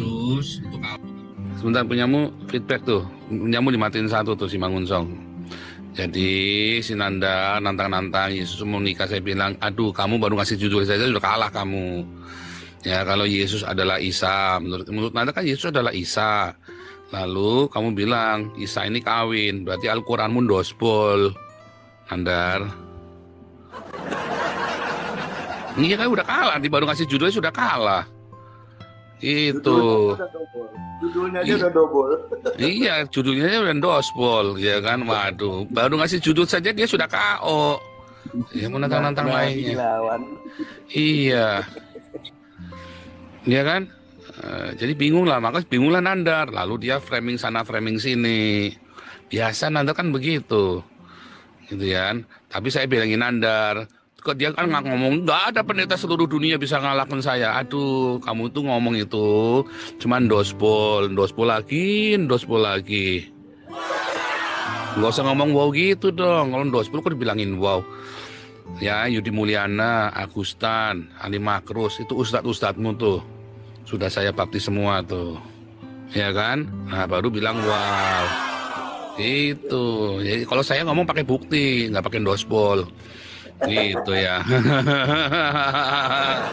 Makanya kemarin tuh ya, Paul, si Hmm. dan Cemumet tuh ya, dan Cemumet kan, kan sempat mau itu Bang Nabi tuh. Dia bilang Hmm. gini kan, ingat kata-katanya, nih Pak Paul kalau masuk ke Islam ini, itu nama bisa jadi besar nih, bisa jadi eh, penceramah internasional nih karena ngerti berapa macam bahasa segala macam gitu kan. Nah dari kata-kata itu, pernyataan itu menyatakan siapa diri dia. Betul. Dia Kenapa jadi dia Islam masuk karena Islam? itu tadi. Iya. Karena saya percaya Ah. ketika dia jadi hamba Tuhan waktu itu tuh, ya kan, dia tuh nggak ada lain pikiran, otaknya cuma di situ doang. Betul. Gitu loh. Nah makanya dia di dalam kekristenan itu dia tuh nggak tahan dengan kesulitan, kesukaran dan lain sebagainya. Akhirnya bagaimana caranya dia mengambil jalan pintas, pindahlah di agama itu ke agama seberang itu, ya kan? Padahal kalau dia benar-benar ketemu hari Tuhan hamba Tuhan yang tepat, seperti misalnya seperti saya bilang nih, teman-teman yang hamba Tuhan yang nggak punya duit, yang nggak kerja dan lain sebagainya, saya arahkan, kamu cari duit nggak salah, kamu bisnis nggak salah, kamu jualan nggak salah, Rasul Paulus pun jualan. Gitu loh. Jangan berpikir kamu udah jadi pendeta punya jabatan pendeta punya titel STH MTH ya dokter dan sebagainya kamu nggak mau kerja. Gitu loh. Karena kamu nggak punya duit kamu gengsi. Kerja salah. Kecuali memang penghidupan kamu dari pendeta kamu itu jemaatmu kaya kaya nggak ada masalah. Gitu loh. Kamu nggak kerja kamu hidupin mereka kamu didik mereka kamu bimbing mereka bener-bener itu it's okay. Tapi kalau memang jemaatmu susah, jemaatmu miskin, kamu tinggal di kampung dan sebagainya, kerja, cari duit. Bikin tuh kolam ikan dari terpal tuh, piara lele, piara mujair. Itu yang saya maksud. Nah makanya orang itu menurut saya ketika ngomong sama Bang Nabi seperti begitu teman-teman, itu ngawur udah. Motivasi tahu. Coba nanti satu waktu nih. Langsung kebuka tuh ya. Iya. Satu waktu nanti kalau dia di dalam udah pindah ke situ, dia hidup susah juga, dia menderita juga. Sama kayak si, si Raji tadi tuh Balik lagi. balik lagi pasti itu gitu loh ya kan iya kayak saya punya dulu saya pernah diminta uang sama salah satu pendeta ya di daerah lo- di daerah eh, Nusa Tenggara lah saya nggak sebut kotanya lah ya. Dia minta uang uang sama saya. Saya bilang gini Pak lebih baik Bapak beli terpal kolam terpal ya kan? Ya kan? Nanti kolam terpal itu Bapak ternak ikan cari bibit cari bibit ikan. Bapak besarin di situ ikan itu, nanti, nanti lalu Bapak jual. Kalau Bapak punya duit dari hasil kerja Bapak, Bapak nggak mengharapkan jemaat, Bapak ngasih duit. Percaya ngomongan saya, hidup Bapak lebih terhormat Pak dari orang-orang lain. Saya bilang begitu. Nah makanya yang yang yang yang Bang Nabi ajarin tuh bener banget. Orang dikasih jangan dikasih ikannya, dikasih kailnya, dibeliin kailnya supaya dia bisa bener-bener hidup dari situ. Paulus pun dulu zaman dulu kalau zaman sekarang dia tuh develop apa kontraktor loh jangan main loh buat tenda loh gitu ya teman-teman. Yang sama sampai hari ini pun saya ber berbisnis nih, jujur aja nih. Status saya udah pendeta penuh. Tetapi saya udah lama saya berbisnis. Sinode nawarin saya untuk untuk dikasih gaji setiap bulan. Waktu itu saya nggak mau. Saya bilang karena saya bisnis juga. Lalu lagu-lagu saya pun juga saya hidup dari situ juga. Gitu teman-teman ya. Makasih makasih. Ntar bukan kasih kail loh.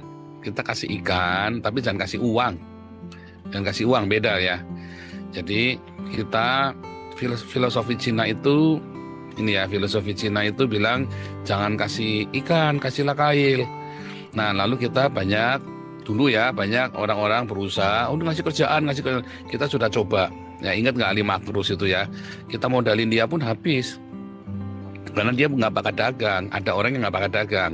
Tapi dia bakat mengajar ya udah kita suruh dia mengajar yang bagus. Kita perlengkapi dia kita kalau perlu support dia carikan channel-channel sekolah-sekolah Alkitab. Ya dulu saya belum pernah punya, belum punya sekolah teologi sih. Kalau sudah punya saya udah saya, saya rekrut gajian dari saya tuh dulu si Ali Makrus. Nah tapi sekarang makanya saya sudah tahu ya. Jadi jangan kasih kail kasihlah ikan tapi jangan kasih uang. Kenapa belum tentu orang semua dikasih kail dia mancing loh. Kalau dia lapar, kailnya dijual sama dia. Dibeliin ikan, kailnya dijual, dibeliin ikan terus tanya, besoknya dia minta-minta lagi. Loh, kemarin aku kasih kail kamu bisa main makan ikan.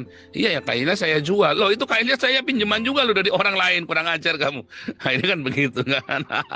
Jadi jangan jangan kasih kail saudara ya. Jadi kalau Anda mau kasih, kasihlah makan. Makanya Tuhan Yesus selalu kasih makan, kasih makan, kasih makan. Tapi nggak pernah kasih uang. Jangan kasih uang. Jangan kasih uang. Kasihlah dia makan. Terus kita kasih kesempatan dia. Lihat kita lihat aja setahun dia tidak kerja. Tahun kedua, tahun ketiga dia tidak masih tidak kerja. Stop bantuannya. Iya dong. Itu gitu. Dia harus kerja. Dia dikasih makan kenyang. Maka dia punya waktu dan dia punya tenaga buat mencari kerjaan yang layak buat dia. Ya, yang yang dia dengan kemampuan dia mau jadi tukang sampah, mau jadi pemulung. Yang penting waktu kamu kerja, kamu tidak lapar karena kita kasih makan. Dan kamu harus cari kerjaan sendiri. Sebab kalau kita kasih kerjaan ke dia, ya dimakannya kita sama dia. Karena dia karena dia lapar. Kita sudah berapa kali ya? Kita sudah bikin kayak ujang CS itu, wah, kita sampai sempat bukain lahan loh buat dia nanem. Oh dia pasti nanti saya kerjain. Nggak taunya nggak dikerjain, malah minta-minta duit, minta gaji pula. Ya, minta duit, minta ini, minta itu. Kita bilang, saya bilang potong, jangan. Nah itu dari situ ya, makanya bilang kalau orang yang dibaptis di tempat kita, kita kasih makan, tapi kita nggak pernah kasih uang. Ya tadi Pak Putih udah jelas tadi ngomong tidak kasih uang. Kita cukupi hidupnya, tapi kalau kamu mau pengen beli handphone, pengen beli ya beli sendiri kerja, enak aja loh. ya kan, kalau kita kasih handphone standar yang harga yang handphone bekasnya yang 500 ribuan, udah bagus kamu. Kenapa? Supaya kamu bisa ikut doa pagi. Itu Wah, kita sudah coba semua ya. Mau, mau yang model apa itu ngasih kerjaan. Ya kita sudah coba semua. Bandel sih pada bandel-bandel. Karena saya sudah punya pengalaman waktu di Indonesia itu saya sudah punya pengalaman. Ya makanya setelah itu kalau mau kita punya lahan nih. Kita punya kita lagi bikin peternakan lele sama peternakan ayam. Kamu dipekerjakan di situ. Begitu kan kelihatan tiga bulan aja kalau dasaran orangnya geblek kan geblek aja dia tuh. Tiga bulan aja ketahuan tuh. Nah, kita langsung kita cut. Kalau dia orang yang niat kerja bener ya kerja ya tidak semua orang juga nggak bener ya. Banyak yang banyak yang bener tapi begitu nggak bener kita cut langsung. Ya jangan. Mendingan kamu tak kasih sembako kamu cari kerjaan sendiri deh. Daripada dia nanti merusak yang lain nah itu nggak boleh juga tuh kita begitu. Kita namanya eh, harus ya tadi harus dengan hikmat semua ya. Jangan sampai merusak sistem. Kita kasih makan tetap. Kalau tiga tahun kamu masih tidak bekerja berarti ada yang salah dengan kamu. Begitu. Kita berhentikan suplainya gitu ya tapi orang Islamnya nggak ada nih nggak seru nih Satu lagi Pak, Pak Ya. Pak Paulo.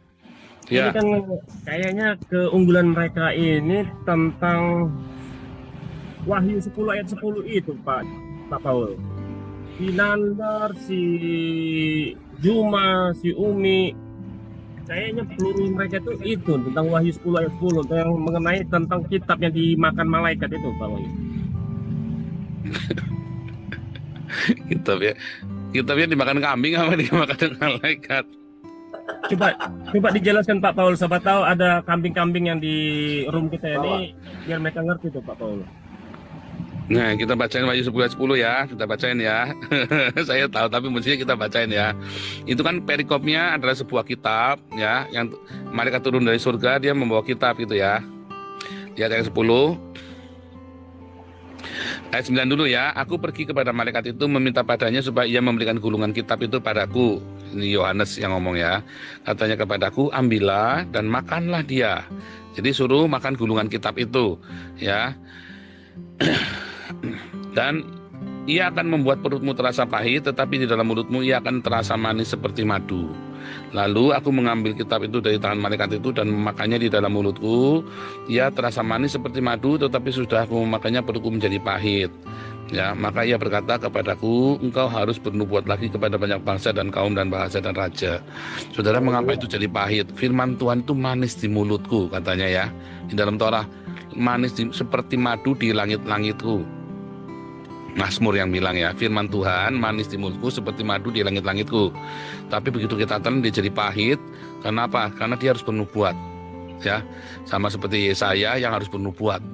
Ya, itu seperti itu. Itu sama ya. Ya itu ada sebuah nubuatan. Yohanes disuruh bernubuat, disuruh makan kitab Wahyu itu. Ya, kitab itu adalah sebuah apa? Metafora, kitab suci. Disuruh ditelan, terus dia suruh bernubuat. Dari firman Tuhan itu keluar, dimakan dan keluar dan nubuatannya itu mengerikan sekali. Makanya selanjutnya isinya kutuk itu ya, nubuatannya kutukan semua itu. Itu namanya seperti itu, bukan kayak di Wahyu dimakan kambing. lihat konteksnya, ya. jadi ya lihat konteksnya. Nah itu orang-orang Islam itu cuma motong, dia mengertinya itu dipaksa diperkosa, ayatnya diperkosa, digagahi, ya dia pikir semuanya modelnya Aisyah semua, dia asal lihat lubang di asal lihat lubang digagahin. Aduh. Jadi kebenaran mereka itu kitab Injil yang dimakan oleh malaikat tersebut. Bukan. Bukan. Bukan. Itu sama seperti yang di Yesaya ya. Sama. Hmm. Mm-mm. Mana nih orang Islam nih? Waduh, orang Islam pada nggak berani masuk nih, nggak seru nih. Orang Islam soalnya kenapa nggak berani masuk? Karena disuruh ngomong gantian. Suruh ngomong gantian dia bingung dulu. ya. Kita cari dulu. Teman-teman yang dari Muslim silakan request ya. Karena mereka itu udah biasa kalau di room-room yang orang-orang kecil itu mereka teriak-teriak. Suka itu pakai apa teriak-teriak itu. Jadi mereka itu mungkin nggak nyam apa nggak mungkin takut Kalau nggak teriak-teriak nggak nyaman. Kalau nggak teriak-teriak nggak nyaman. bukan Nah, hanya teriak suka potong-potong juga ya. potong orang bicara Nah Itu udah naik mereka. barusan itu, udah itu yang barusan ini siang ini. Kan dia muslim. Ya selamat sore. Pak Baul, Ini AAG ini bukan Muslim kalau nggak salah Kristen loh AAG ini ya yang sering nanya di sini toh. ya Pak Baul. Ini, ini Kristen ini AAG ini. Ya Salam, salam Pak. Tolong ceritain Pak yang tadi pagi Pak. Kurang keras AAG suaranya kurang keras. Bingung. Suaranya Yang keras suaranya, itu Pak. Pak, waktu Belanda jam 2-an gitu. Oh iya kenapa itu? Nah, ceritain Pak, bagaimana serunya itu Pak. Udah tadi saya udah bilangin tuh sebentar ya sebentar ya. Hmm. Sebentar ya. Saya kok ada ada yang salah nih. Eh, tadi pagi yang yang saya ke tempatnya Bu Sumangkut, ya kan? Dia kan ngomong ngacau ngalor ngidul ngalor ngidul ngaco semua tentang Alkitab. Saya masuk, nggak dikasih masuk lama.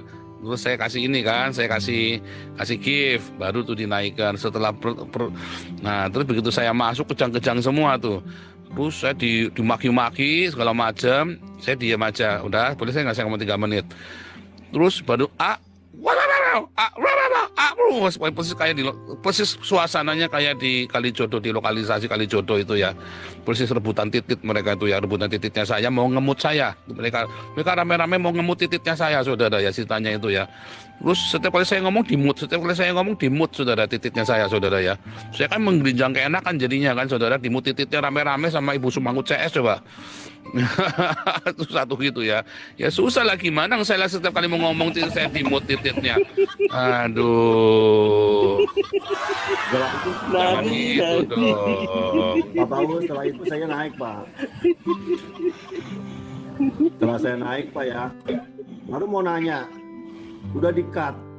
Kamu muslim apa Kristen bukan? Wah. oh kamu Terus- naik terus apa yang Iya, terjadi saya tuh naik. Denomnya apa denomnya kamu? Saya bilang saya nggak punya denom, denom apaan? Saya bilang. Oh ya udah di Amerika nggak ada denom katanya. Udah gitu, baru mau nanya, udah di kamu ya saya tahu siapa kamu. Waduh, si Rasi itu. Waduh, waduh, waduh. Emang kayak begitu Pak, itunya apa koma-koma kayak begitu. Nanya aja di sangka yang mau menghina. Gitu Pak. Tadi yang nanya siapa tadi sebe- sebelum AAG siapa ya? Sebelum AAG tadi ya ini dalam YSKL YSKL 2 ayat 3. Terus di YSKL 3-nya jelas banget ya. Disuruh dimakan gulungan kitab itu. Ya YSKL tadi bukan saya saya salah ngomong ya. YSKL tadi ya. Itu kan sama tuh, disuruh makan gulungan kitab. Ya kan? Si YSKL itu lalu disuruh bernubuat. Itu sama ya. Eh Lu si tadi berarti masuk ke sana ya. Nggak boleh ngomong kan kamu kan? Nggak boleh ngomong. Nggak bakal kalau masuk orang Islam itu ya. Kalau misalnya ada yang pinter dikit nggak boleh ngomong saudara.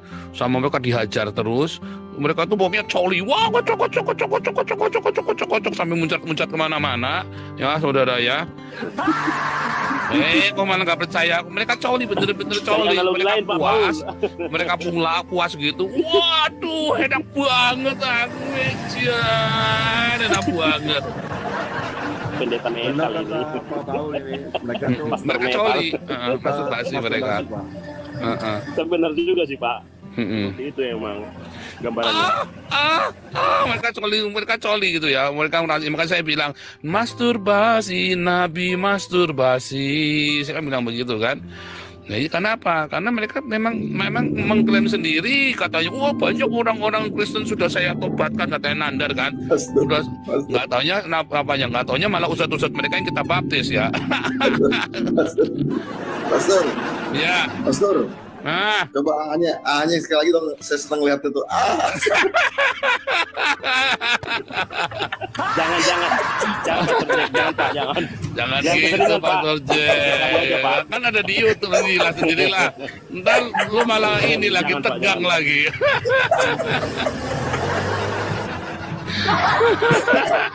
Lu Iya, yang A-nya, tegang lagi. A-nya penuh penghayatan tuh. kan.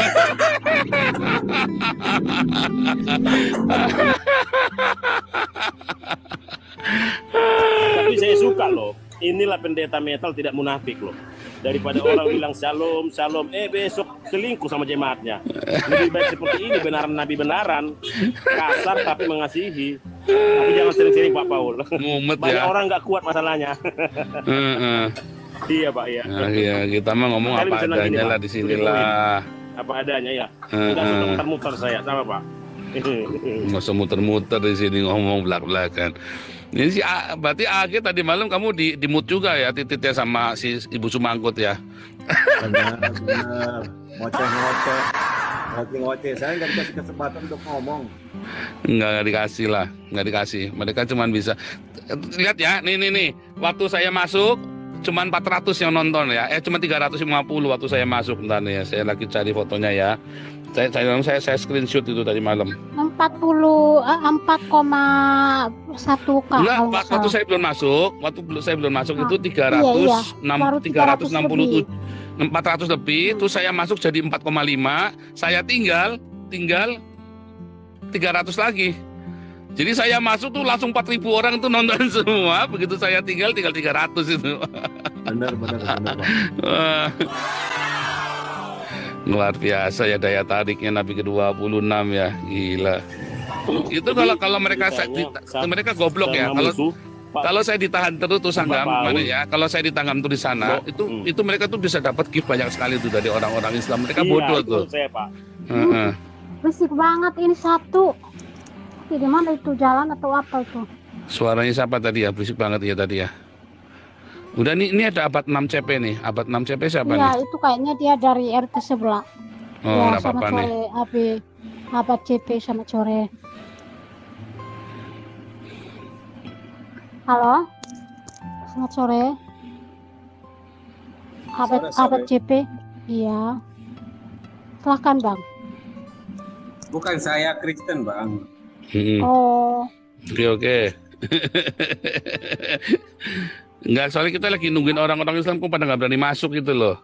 Iya, iya, saya turun aja, Bang. Tadi kebetulan disuruh dinaikin ya udah. nggak apa-apa ini, ini ini lagi nyariin orang Islam lagi nyari kadrun-kadrun ini soalnya kadrun-kadrun ini kan banyak disesatkan sama ustadz-ustadznya ini Ya itu karena mereka pada masturbasi di sana pada coli sendiri suruh pada masuk sini yo jangan coli ya kan kita swing aja eh malah maunya coli mereka seneng pada coli sih soalnya ya saya juga kagak ngerti ot- otak selangkangan memang situ. Pak Pendeta hanya mau mendukung dalam doa agar Pak Pendeta selalu diberkati Tuhan Yesus. luar biasa Berkati itu aja sih. lanjut Yang mau naik request ya yang dibawa daripada kalian typing nggak jelas kan. Mereka kalau di depan murid dan santrinya kan iya iya semua. Tapi ngomong di depan kita ini kan kita minta bukti otentik dasar-dasar literaturnya apa? Nggak bekuti pak. Iya kan. Makanya ini copy paste itu kalau dia nongkrong sama kita kan kita bongkar semua pak. Tapi syukurlah di Indonesia ini apa namanya presiden sekarang kenaikan Isa Masih itu menjadi kenaikan Yesus Kristus itu membuat mereka mendidih loh. Mendidih. Nah, itu aja Pak. Thank you.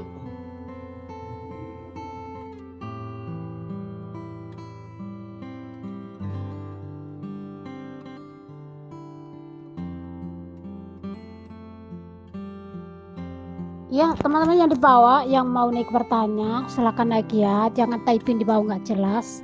Buang-buang waktu kan, buang energi. Mendingan naik ke atas sini bertanya. Yuk, na- silakan request ya aku naikin. Kok pada takut ya? Naik nggak dikikit kok. Nggak usah pada takut, nggak dikikit sini naik sini bertanya. Atau mau saya jambak satu-satu?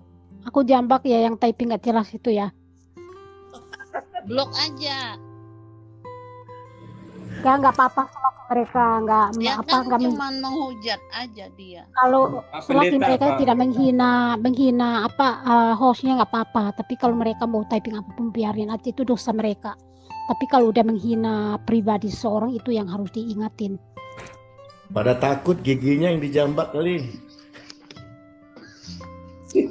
saya saya tarik rambutnya kalau ada yang botak nggak bisa ditarik ya Tadi dulu saya cari dulu Iya, mau dijambak rambut mengelak kena gigi, rontok dah.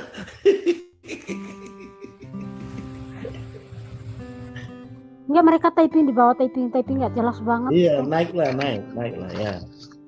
Kan lebih seru ya. Kan kamu yang yang typing di bawah kan daripada apa namanya? Daripada penasaran kan, nanti arwahnya penasaran kan mendingan di sini. tapi mereka kalau di sini mereka takut loh aku bingung loh tapi kalau di rom rom Kristen yang awam awam tuh mereka berani banget sampai Kita kan rebutan sini ngomong open open kamera loh. Kalian kan bisa buat macam-macam. Kita open kamera loh. Mungkin teman-teman lain belum siap, tapi kalau kayak kita kita ini kan udah siap. Mau diapain? Paling kelompok paling kelompoknya itu-itu saja. Dia kan bergerombolan. Mana Iya, yang mereka mau dilecehin ya itu yang dia berkerumun masuk ya. Tetapi kalau ini kan internasional ya. Jangan dia macam-macam. Oke, ini ada ada ah, sudah ada ini kita sambut dulu. Silakan. Ah, Rahmat ini dari RT sebelah. Ya selamat sore Pak Rahmat. Assalamualaikum. Halo. Rahmat. Assalamualaikum warahmatullahi wabarakatuh. Iya selamat sore. Silakan Pak mau bertanya apa? Mohon pencerahannya Pak Paul.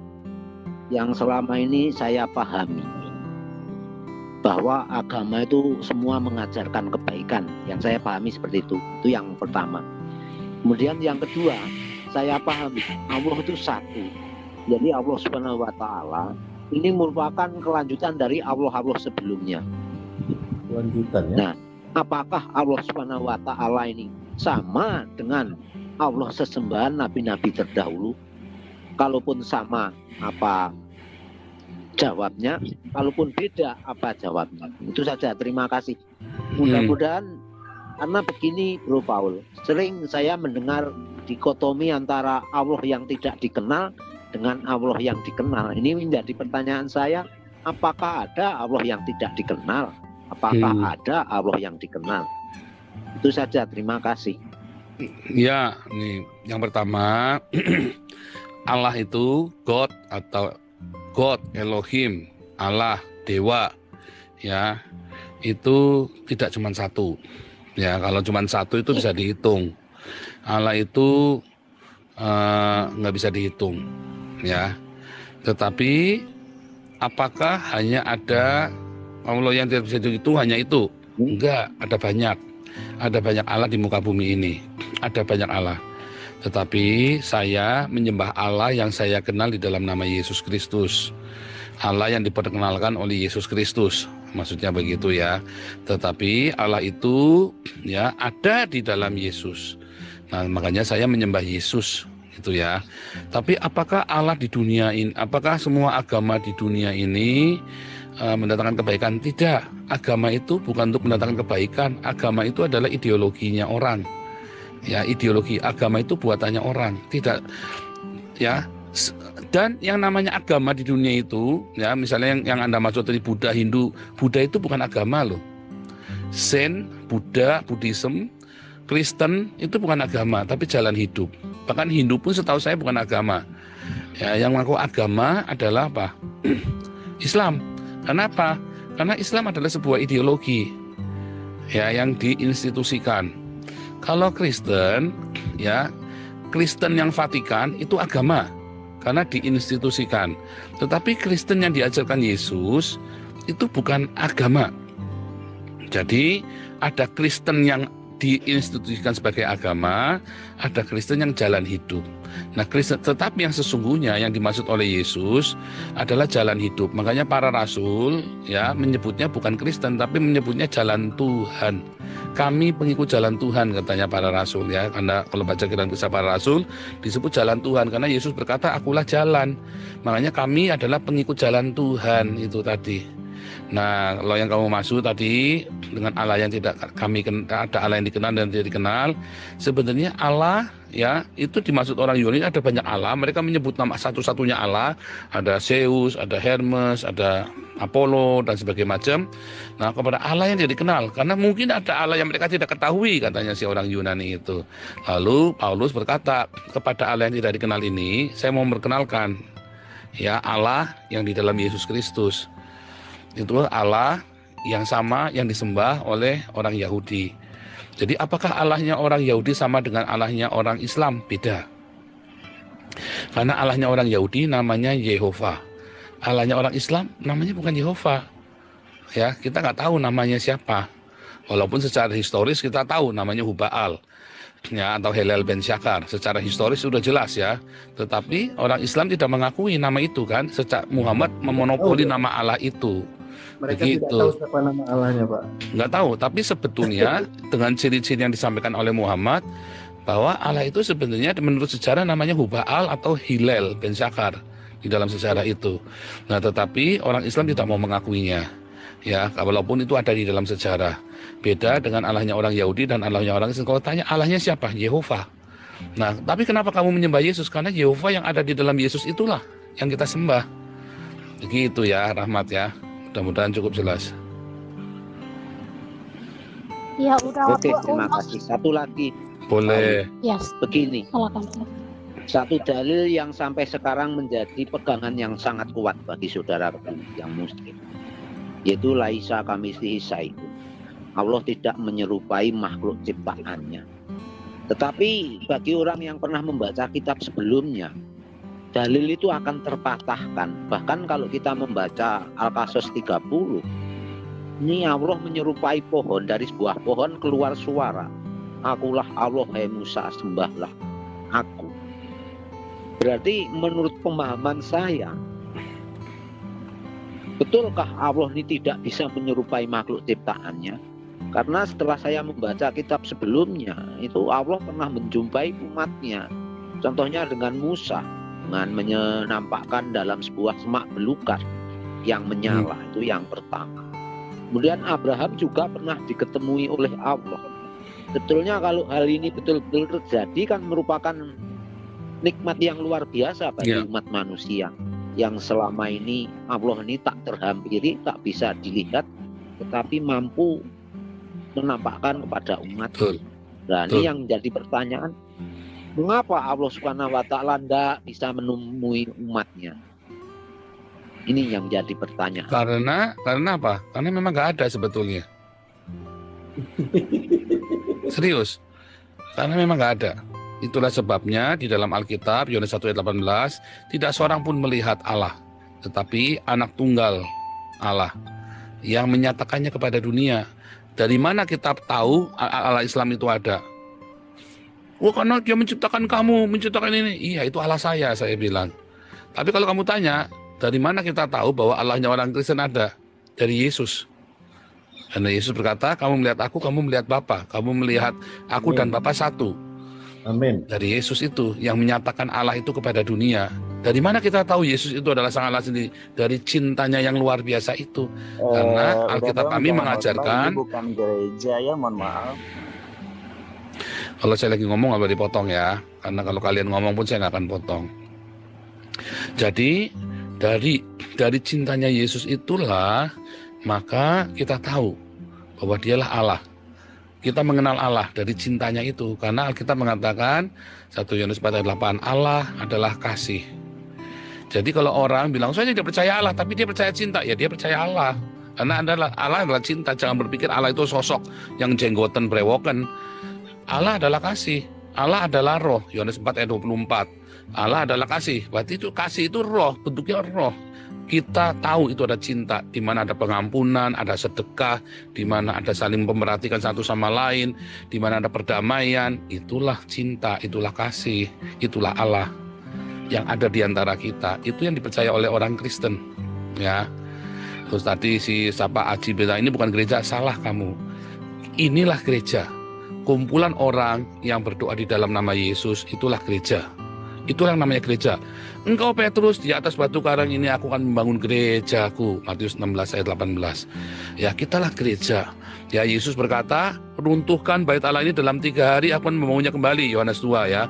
Yang dimaksud adalah tubuhnya. Satu dalam dalam satu Korintus 6 dikatakan, tahukah kamu bahwa kamu adalah bait suci? Kitalah gereja. Saya kumpulan orang-orang yang percaya kepada Yesus kitalah gereja, bukan gedungnya. Gedung itu nggak ada artinya apa-apa. Nons. Makanya komunitas kami, gereja saya tidak ada gedungnya. Gereja saya adalah tubuh Kristus di mana kita saling membagi makanan membagi pakaian, nggak ada komunitas kita sampai nggak bisa bayar rumah kontrakan, nggak ada yang kelaparan, nggak ada yang sampai nggak bisa bayar sekolah, semuanya kita semua kedapi semua karena itulah gereja, itulah tubuh Kristus yang benar. Ya, wah beri kemuliaan bagi Tuhan Yesus luar biasa, haleluya. Ah. Satu lagi. Oke, boleh. Rama, satu lagi. Untuk saya turun, Boleh. mudah-mudahan menjadi pembelajaran saudara yang lain. Begini Pak Paul, banyak dalil-dalil yang menyebutkan tidak dipandang beragama bila tidak menegakkan kitab-kitab sebelumnya. Bahkan di Al-Baqarah 2 ini Jalikal Alkitab ini, kitab ini kan merujuk pada kitab-kitab sebelumnya. Kalau Mm-mm. memang terjemahannya memang di dalam Quran. Tetapi kan saat itu Quran belum menjadi sebuah kitab. Ini juga menjadi pertanyaan. Kalau memang mengimani kitab-kitab sebelumnya Pak Paul, mestinya logika saya ini Allahnya harus sama merujuk kepada Allah sesembahan nabi-nabi yang ada di Taurat Iya. maupun di Harusnya. Iya. Iya. Harusnya, Ini yang tetapi kan masalahnya masalah. Mengapa ada masalah. Betul. Makanya kan sebetulnya apakah Allah di dalam eh, Taurat sama dengan Allah dalam Al-Qur'an? Ya beda banget. Apakah Yesus adalah Isa? Ya beda banget. Bahkan di zamannya Muhammad lahir ceprot pun belum lahir ceprot, nggak ada orang Nasrani di Arab yang berkata Isa Al-Masih, adanya Yasua Al-Masihah.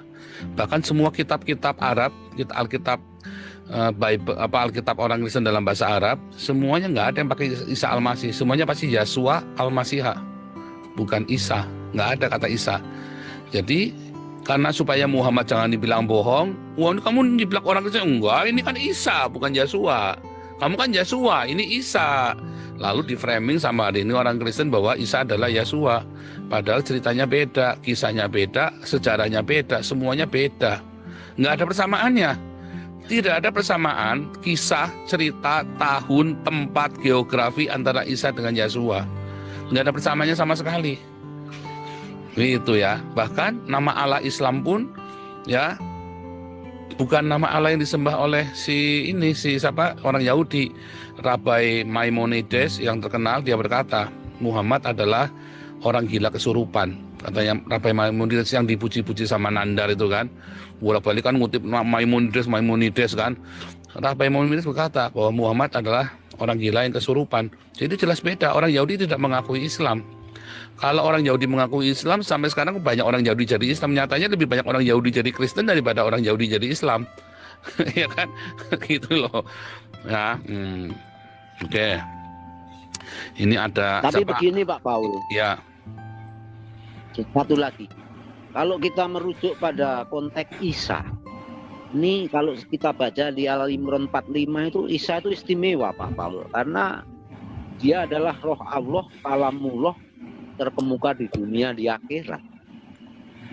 Dan saya pahami selama ini terkemuka di dunia banyak, tapi kalau terkemuka di akhirat ini belum pernah menemukan.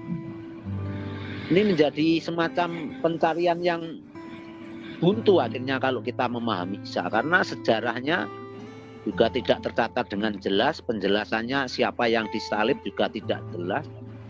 Terus kitab Isa itu seperti apa? Selama ini saya juga belum menemukan termasuk di dalamnya misi hidup di dunia ini apa yang diajarkan kemudian umatnya siapa ini kan menjadi pertanyaan Nah ini harus hati-hati. mohon Harus penjelasan harus hati-hati begini. Karena ada kata walahu khairul makirin. Ya, dalam Al Imran 54.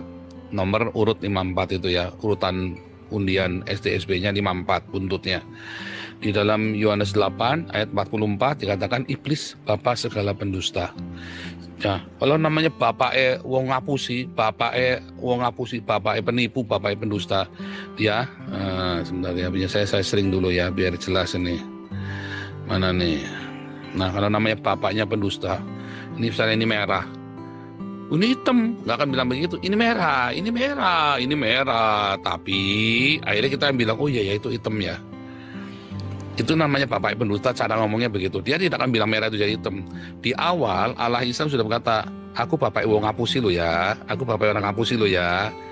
Dan kita nggak sadar tuh, ya kan? Bahwa oh ya hebat ini bapak bapak wong ini orang yang punya tipu musuh ini bapak. Jadi dia nggak mungkin tertipu lagi. Pikirannya kan kita begitu. Kamu nggak bisa nipu dia. Karena aku bapak wong nipu nih. Nah tapi dia nggak sadar. Sebenarnya itu pengakuan. Lalu dia berkata iblis itu kan kalah di waktu Yesus disalib karena ketaatannya Yesus taat sampai mati di kayu salib dia taat. Dan saat itu iblis kalah. Iblis pikir dia menang dengan membunuh Yesus. Ternyata Yesus taat sampai mati di kayu salib iblis langsung kalah tuh hari itu. Dia kaget. Lalu dia ngapusi. Oh Yesus nggak mati di salib oh nggak bisa. Dia caranya apa? Oh Isa itu hebat. Oh Isa itu waktu kecil bisa ngomong. Oh Isa itu waktu umur 12 tahun bisa membuat mujizat. Oh Isa itu terkemuka di bumi di akhirat. Tapi nggak disalib loh. Tapi nggak disalib loh. Oh terkemuka di akhirat. Tapi nggak disalib loh. Tapi nggak disalib loh. Dan akhirnya semua orang Islam sepertiga dunia memahami bahwa Yesus Kristus tidak mati di salib itulah Bapak E wong ngapusi. Karena intinya bukan masalah terkemuka, bukan masalah Yesus bikin mujizat. Intinya adalah Yesus harus mati di salib untuk menyelamatkan seluruh umat manusia. Dia harus bangkit dari kematian untuk menyelamatkan seluruh umat manusia. Dan iblis ngapusi. Dengan cara begitu, tapi nggak mati di salib loh. Wah hebat, tapi nggak mati di salib loh. Nah itu hati-hati loh saudara. Intinya malah nggak nyampe akhirnya gara-gara kita ngejar Isa yang terkemuka di akhirat itu ya mencoba memuliakan Isa katanya orang Islam tapi dia menyangkal penebusan itu dan dikatakan Antikristus itu adalah orang yang menyangkal penguasa telah menjadi manusia. Antikristus adalah yang menyangkal Bapa dan Anak. Sesungguhnya Allah tidak diperanakan dan tidak beranak dan tidak diperanakan. Antikristus 1 Yohanes 2 ayat eh, 22 adalah orang yang menyangkal Bapa dan Anak. Ya, jelas banget ya. Dan dia berasal dari kita loh dulu. Muhammad berasal dari kita. Muhammad kan dulu Kristen. Kawin sama si Khadijah. Khadijah kan Kristen. Zaman itu menikah nggak boleh beda agama. Khadijah Kristen. Walinya pendeta Kristen. Maka menikahnya dengan cara Kristen. Dan Muhammad terlahir sebagai kafir Quraisy. Makanya Muhammad nggak pernah disunat. Nggak pernah ada sebutan Muhammad sunat. Nggak pernah ada. Kenapa? Karena terlahir Quraisy, kemudian dia jadi Kristen, masa dia kemudian terima wahyu Jibril minta disunat? Kan lucu masa umur 40 tahun disunat, keras. Waktu digigit itu kalau saya bayangin anak kambing umur 7 tahun itu mau dipotong itu keras. kalau empat tipul, kambing bawah tiga bulan empuk. Ini ini kulit katanya udah tujuh tahun, udah keras sekali, nunggu, oh sampai gitu, aduh gitu ya Oke nih kasih waktu lagi nih sebentar ya kita kasih waktu buat Aji Sarjana Aji Sarjana tadi mau protes tadi boleh satu ya Rahmat Tuhan Yesus memberkati semoga Tuhan menjawab hatimu ya luar biasa Nah kalau nanya baik-baik kan enak ya Cross Ada Ustadz ini Pak. Ada Ya, nih. Ustadz ini. Ada Aji, Aji. ini. Bukan ada Ustadz itu Pak mau naik gitu. Ya nggak apa-apa ini kasih naik ini si Aji biar kasih naik dulu Aji Aci, Aci mau bicara dulu. Aji satu menit Oke. Aji Oke. Satu menit ya, tiga pada timer tuh. pinter, Pada pintar semua. Ah, pintar memang pintar sekali ya Bang Nabi nih. Pintar sekali. Eh, saya cuma bertanya kepada Bang Nabi eh, dan seluruh oten yang ada di sini, apa pengertian Allah? Itu saja. Allah yang mana? Iya, apa pengertian Allah? Terus satu menit, kamu punya waktu satu menit. Iya, apa pengertian Allah dan tunjukkan datanya kepada saya biar semuanya tidak merasa terbohongi. Itu saja pertanyaan saya. Ya, jawab. Udah? Selesai ngomong. Ya, kepentingan gampang. Yohanes 4 ayat 24. Allah adalah roh. Hmm. 1 Yohanes 4 ayat 40 ayat 8. Allah adalah kasih. Allah adalah cinta. Allah adalah roh. Cinta itulah roh itu adalah cinta. Udah selesai. Ya. Dari mana itu datanya? Ada Yohanes 4 ayat 24, 1 Yohanes 4 ayat 8. Udah dibut. Kamu tadi Oh jadi begini, oh jadi begini bang, jadi begini. Yohanes 1 ayat 1 pada mulanya adalah firman, firman yang bersama dengan kasih, firman itu adalah kasih, begitu? Yes. Oh jadi Allah itu kasih. Ya. Iya, Data dari mana Allah itu Allah itu adalah kasih? Coba tunjukkan apa pengertian Allah. Coba, mungkin ada Loh, yang bisa tadi- buka Google di sini? Tadi sudah oh kamu jangan tanya Ada Google. yang bisa buka Google di sini Aduh, atau kamu ada yang bisa buka agama kok sama KBBI di Google? sini? Nabinya kamu Google ya? Ada yang bisa KBBI di sini, ada yang buka bisa bisa bisa, bisa buka KBBI di sini. Coba. Coba seluruh oten mungkin Bang The Cross atau Bang siapa SHHTG atau Lucky Bar atau mungkin hostnya coba buka KBBI deh biar Ngomongnya gantian. Jangan rocos terus. Gantian ngomongnya.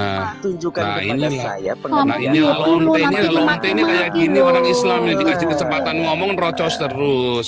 Gantian ngomongnya. Jadi Jangan Bisa- ribut. Bisa nggak gantian? datanya, diam dulu. Ya, Bisa nggak gantian? datanya. Tadi sudah saya datanya. sudah saya tunjukkan. pengertiannya. Nanti ujungnya ribut. Aduh, pengertiannya biar semuanya Iya, makanya diam, biar dijawab. terbohongi bukan nggak apa-apa. Biar dia ngomong sepuas-puasnya. Biar dia Ya ngomong ya sepuas-puasnya. Saya kasih waktu kamu tiga menit buat ngomong sepuas-puasnya. Nih tiga menit ya. Jangan ngomong nggak dikasih kesempatan ngomong nih. Tiga menit kamu ngomong ngoceh lah sepuasnya tiga menit. Ya silakan. Oke, saya mau berbicara kepada seluruh oten yang ada di sini. Dari mana Anda tahu bahwa Allah itu adalah kasih? Tunjukkan kepada saya datanya, pengertiannya di mana? KBBI coba dibuka KBBI-nya, ya kan? Woi ngomong kencang dikit pak. Yang lain diam dulu Diam, ya. diam dulu, Bang. Sabar dulu, ntar dulu. Tolong Silakan. yang lain nggak boleh ngomong dong. Kita hormati orang ngomong ya. Oh ya, lanjutin Adi, Ya. Aci. Terus tadi bilang bahwa Kristen bukanlah agama, lah berarti kalian tidak punya agama, ya kan? Itu satu. Yang kedua adalah Kristen itu di kitabmu di, di, di apa dibentuk di Antioquia. Oh berarti agama kamu dibentuk oleh manusia yang ada di Antioquia. Pertanyaan saya itu, kalian itu bani Yesus atau bani orang Antioquia? Pertanyaan saya, karena Yesus selama hidupnya tidak pernah mengadakan agama Kristen. Kristen itu adalah agama yang dibentuk di Antioquia. Begitu. Jadi kalian itu meng- mengaku pengikut Kristus, mengaku pengikut Yesus. Lah, Yesus saja tidak pernah membentuk agama Kristen. Sendiri tadi yang bilang, Kristen itu bukan agama, berarti kalian tidak beragama. Karena memang Kristen dibentuk di Antioquia oleh orang-orang di Antioquia. Begitu. Jadi kamu itu ngaku pengikut Yesus, kata Yesus, nyahlah kalian. Saya tidak kenal dengan kalian karena memang Yesus tidak pernah membentuk agama Kristen. Begitu.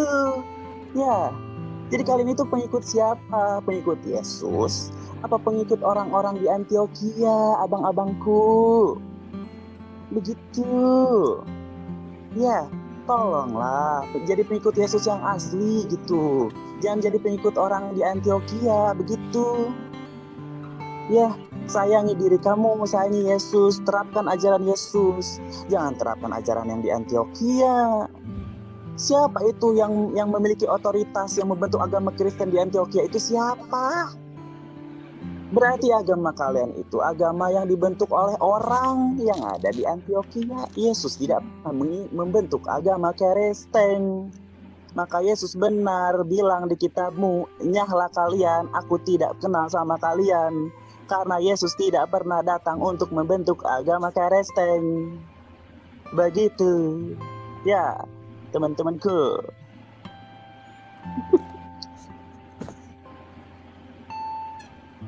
Udah ngocennya udah. Dah, 11 menit lagi. dah lah. Gak perlu banyak-banyak. Nanti kalau kamu di mute, nanti eh, kamu di mute, Nabi 26 mau bicara, jangan dipotong ya. Nanti kamu dimaki-maki loh kalau kamu potong.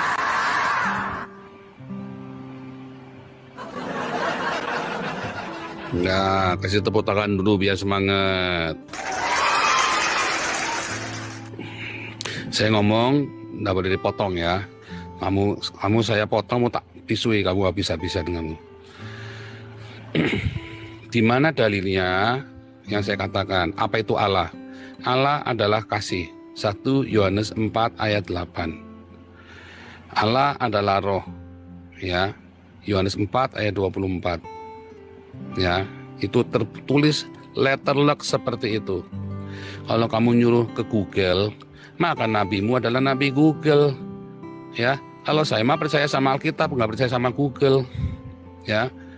Kedua apakah Kristen? Sebuah agama? Bukan. Ya tadi saya ada dua. Sejak tahun 300 Kristen dijadikan agama. Tapi apakah Kristen itu agama? Bukan. Kristen adalah jalan hidup. Namanya Kristian, pengikut Kristus.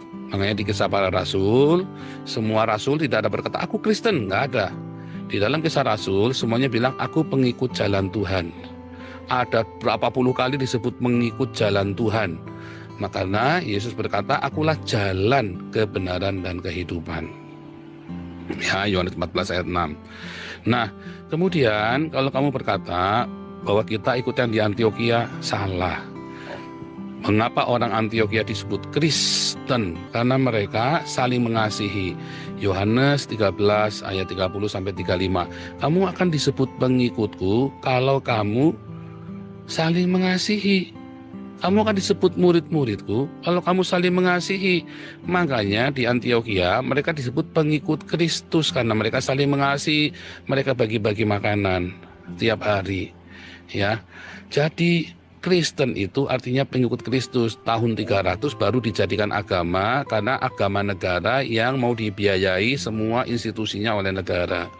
Tetapi dari awalnya Kristian adalah pengikut Kristus. Apakah Yesus Kristen?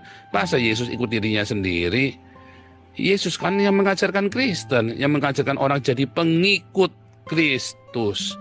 Kamu jadi pengikut Kristus kalau kamu saling mengasihi. Ya, jadi jelas banget. Pertanyaannya, ya, pertanyaannya sekarang buat kamu, ya, apakah kamu pernah siapa yang pernah ngelihat Allahnya kamu? Muhammad aja nggak pernah ngelihat. Siapa yang pernah ngelihat titiknya Muhammad? Siapa yang pernah ngelihat Muhammad disunat? Nggak ada. Kamu paham nggak? Dah, situ aja kamu jawab. Oke. Tadi Satu dibilang menit bahwa ya. Yesus adalah Satu menit ya. Yesus adalah bodoh Satu amat menit saya ya. menit tiga menit juga. Kan Satu menit. disebut Yesus adalah aku dan ja- aku adalah jalan kebenaran hidup. Memang iya, saya tidak pernah menolak Yesus sebagai jalan dan hidup. Tidak pernah menolak. Semua umat Islam tidak pernah menolak Yesus adalah jalan. Karena seluruh nabi adalah jalan. Tapi ingat, jalan bukan tujuan. Ketika kamu mau ke kantor, masa kamu mau di jalan terus? Ya ke kantor lah. Begitu. Ya, tidak ada yang sampai kepada Bapak kalau tanpa Yesus. Begitu. Ya, yang kedua, Bapak tanya kepada saya, pernah nggak Kak, saya melihat Allah? Pertanyaan saya kepada Ba- Bapak, Bapak pernah nggak melihat Yesus? Mana Yesus yang asli, yang nyata itu mana? Seluruh umat Kristen di dunia ini nggak pernah ada yang nggak pernah ada yang me- melihat Yesus.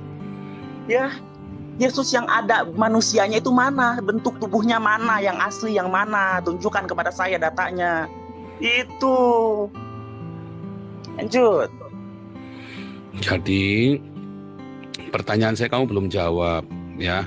Kamu pernah melihat Allahmu enggak? Muhammad aja nggak pernah lihat. Kalau saya pernah melihat Yesus, saya pernah melihat Yesus ya. Paulus melihat Yesus. Yohanes Asumsi. Ya. Jangan ngomong asumsi. Saya melihat Yesus ya. Nah, makanya di dalam Yohanes 1 ayat 18 dikatakan Allah tidak dapat dilihat oleh mata tetapi Yesus lah yang menyatakan Waduh, ini ah. Lonte kamu. Dasar lonte kamu. Dibilangin kalau saya ngomong nggak boleh dipotong. Bangsat juga nih orang Islam satu ini. Kamu tadi ngomong saya dengerin. Sekarang saya ngomong dipotong terus. Lonte kamu. Bangsat kamu. Dasar pengikut Muhammad bangsat semua. Udah saya bilang kalau saya ngomong nggak boleh dipotong. Bohong kau. Gajingan juga kamu ini. Waduh, lonte, lonte. Dasar lonte kamu. Udah kamu minggir aja. Dasar lonte kamu. Saya sudah bilang, kalau ngomong nggak boleh. Kamu tadi ngomong saya tungguin. Ya, saya dengerin kamu ngomong. Begitu saya ngomong, nggak boleh dibantah. Ya, begitu kamu bantah tak pisui kamu. Ya, dasar kamu. Ya, pengikut lonte, nabi lonte, nabi brondong, nabi gigolo kamu. Goblok kamu. Ya, kalau saya ngomong kamu nggak boleh potong saya. Kamu tadi ngomong saya tungguin. Ya, jadi ya Yesus bertemu dengan saya. Yesus bertemu dengan Paulus, Yesus bertemu dengan Yohanes dalam sinar cahaya kemuliaan. Kamu bisa nggak ambil fotonya? Nggak bisa. Karena itu adalah cahaya kemuliaan. Kamu hanya bisa melihat buah-buahnya. Ya, dari buah-buah yang saya lakukan. Bahkan Muhammad pun diam kalau saya lagi ngomong nggak boleh ada yang potong. Jadi ya bahkan Muhammad pun tidak ada kebaikan Muhammad, tidak ada Muhammad kebaikan yang bisa diteladani oleh kalian. Ya, dia kawin di Pocil, di Olala PP, kawin mantunya sendiri, babunya sendiri. Saya Nabi ke-26. Saya meluruskan kesesatan kecabulan Muhammad. Saya banyak berbuat kebaikan, jauh lebih dari Muhammad nggak ada apa-apanya. Muhammad kasih makan umatnya dengan ngerampok, membunuh. Saya ngasih makan umat Islam, tak kasih makan tuh umat Islam. Tiap hari seribu sampai dua ribu orang umat Islam saya kasih makan dengan bersedekah. Ya, jadi saya jauh lebih baik daripada Nabi Islam. Ya, Nabi nggak bicara jorok salah kamu. Yesus bilang anjing, pelacur masuk kerajaan Allah. Muhammad masuk neraka. Itu sabdanya Yesus ya. Pelacur, lonte, Yesus berkata lonte masuk surga, Muhammad masuk neraka. Ya. Oke, lanjut silakan. Kalau saya lagi ngomong nggak boleh dipotong ya. Silakan masuk lagi. Kasih masuk lagi tadi siapa tadi? Naik murta, ya yang barusan naik ini. Silakan, tanya Ya. apa? Silakan. Kalau saya ngomong, ini aturannya ya. Kamu ngomong saya tungguin. Begitu saya ngomong, kamu tidak boleh potong saya. Sekali saya sabar, dua kali, yang ketiga kali kamu tak pisui kamu. Ya. Jadi itu aturannya di sini. Kalau ada orang ngomong nggak boleh dipotong. Waktunya kamu buat ngomong. Pertama kamu boleh ngomong tiga menit. Selanjutnya satu menit satu menit kita bergantian. Ya. Silakan. Murtaza mau ngomong tiga menit pertama saya kasih. Silakan.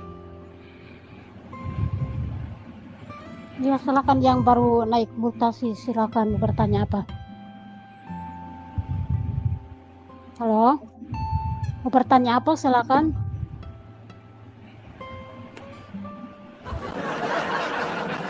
Takut dia. Ya sudah nggak apa-apa. Biar ini? nyimak dulu. Biar nyimak dulu. Yang kasih yang lain dulu. Oke, Apa nih? gantian dulu yang lain. Silakan buka mute. Halo. Ini cuma oh hilang. Oke, gantian dulu. Yang baru naik ini siapa ini yang nggak ada namanya itu? Salve, silakan. Halo, selamat sore Salve. Atau Ren? Oh iya, ini lupa Ya, ini. Salve, tar silakan. dulu. Rena, Salve, Renaldi shalom, dulu. Dia yang pertama naik dulu. Tar dulu, Oh, ya, Renaldi lanjut, dulu. lanjut, lanjut, lanjut. Renaldi mau bicara. tanya soalnya ini ya kita taruhlah kita yakin dengan Yesus ya sementara Yesus kan sudah berlindung sudah meninggal dunia kalau Yesus sudah meninggal dunia otomatis keilahiannya sudah meninggal dunia. Kalau keilahian sudah meninggal otomatis keilahian itu eh, tidak bisa ada di dunia lagi. Dunia otomatis sudah nggak ada lagi kalau keilahian itu tidak ada. Dengan perginya Yesus maka pergi juga keilahian itu. Maka dunia pun otomatis sudah pergi juga sudah tidak ada. Nah seharusnya bukan begitu setelah Yesus meninggal maka keilahiannya berpindah dia akan mewariskan kepada siapa kepada yang mempunyai hak selanjutnya berpindah artinya keilahiannya itu. Nah ini harus dipahami juga bahwasanya kepada siapa dia berpindah. Kalau kepada nabi selanjutnya kepada siapa nabinya. Nah, itu harus kita pahami. Kalau tidak maka ya eh, dunia ini otomatis sudah tidak ada tanpa keilahian itu. Dunia sudah tidak ada. Itu sebenarnya harus harus dijelaskan Paul. Karena setelah kepergian Yesus eh, artinya eh, keilahian sudah tidak ada lagi di dunia ini. Sebenarnya dunia ini sudah harusnya setelah Yesus wafat harusnya dunia sudah kiamat. Tapi dunia masih tetap ada. Artinya keilahian itu berpindah, artinya masih ada. Nah, kepada siapa ya harusnya itu diwariskan? Berarti sampai sekarang pun masih ada sosoknya yang dicari-cari setelah Yesus yang memegang keilahian itu sehingga dunia tetap uh, ada eksis uh, sampai sekarang. Kalau keilahian yang hilang uh, bisa itu hilang semua, maka dunia itu artinya kiamat. Nah, itu yang kita cari. Bukan berarti kita uh, mempercayai Yesus setelah keilahiannya itu uh, sudah hilang. Ya, kepada siapa itu keilahiannya harus kita cari nabi selanjutnya. Ya begitu. Saya rasa ini harus dijelaskan. Jangan dilupakan hal-hal seperti ini. Kalau dilupakan justru ajaran itu tidak sampai atau tidak nyambung, artinya loss ajarannya. Dengan nabinya wafat berarti ajarannya juga loss, hilang atau habis ajarannya. Begitu Paul, terima kasih waktunya. Oke. Saya ngomong nggak boleh dibantah ya, nggak boleh di- nggak kamu kalau mau membantah setelah saya selesai ngomong, ya, Maaf, siap, saya nggak pernah bantah. ya. Kamu sanggah boleh, tapi setelah saya ngomong. Nah, saya kasih tahu kamu, ya. Yesus mati disalib dan bangkit, lalu dia hidup selama-lamanya. Artinya dia tidak perlu mewariskan kepada siapa pun. Ya, lalu dia naik ke surga. Apakah dia pergi naik ke surga begitu saja enggak? Dia langsung turunkan Roh Kudus. Roh ya, bukan manusia. Makanya Roh Kudus ini di dalam kisah para rasul sering juga disebut dengan Roh Yesus. Ya, Roh Kudus, Roh Yesus sama. Ya. Nah, apakah yang dimaksud adalah Muhammad? Bukan. Mengapa? Karena Yesus ngajari kita untuk jangan poligami. Yesus ngajari kita jangan kawin cerai. Tapi Muhammad kawin cerai dan poligami. Yesus ajari kita jangan membunuh, tapi Muhammad membunuh. Yesus ajari kita untuk kita dibaptis, tapi Muhammad malah ngajarin apa, saudara? Disunat aja kagak, ya kan? Dibaptis juga kagak. Muhammad ngajarin apa, saudara? Nyuruhnya apa? Muhammad itu nyuruhnya suruh nidurin bocil, budak-budak itu. Ya, nyuruhnya apa? Ber- nyuruh berjadak enggak juga. Jadi apa yang diajarkan Muhammad? Ya cuman ada pembunuhan dan seks. Jadi apakah Muhammad itu yang meneruskan ajaran Yesus? Wah ya kamu sejauh timur dari sejauh timur dari pantatku ya jauh sekali. Jadi kamu tidak bisa membandingkan ya ajaran Yesus dengan ajaran Muhammad. Gitu ya. Silakan satu menit Renaldi. Nah, maksudku kalau setelah Yesus wafat otomatis eh, semua ruhnya itu itu pergi ke akhirat artinya habis dunia ini juga wafat tapi dunia ini masih ada berarti keilahian itu masih ada. Dia akan diwariskan terus. Dengan artinya buktinya dunia ini masih ada. Berarti ada yang memegang keilahian itu eh, ruh ruh itu ruhullah disebut ruhullah itu masih ada pewarisnya kalau bukan Muhammad siapa gitu orang nah, ini yang harus dicari oleh eh, umat umat manusia begitu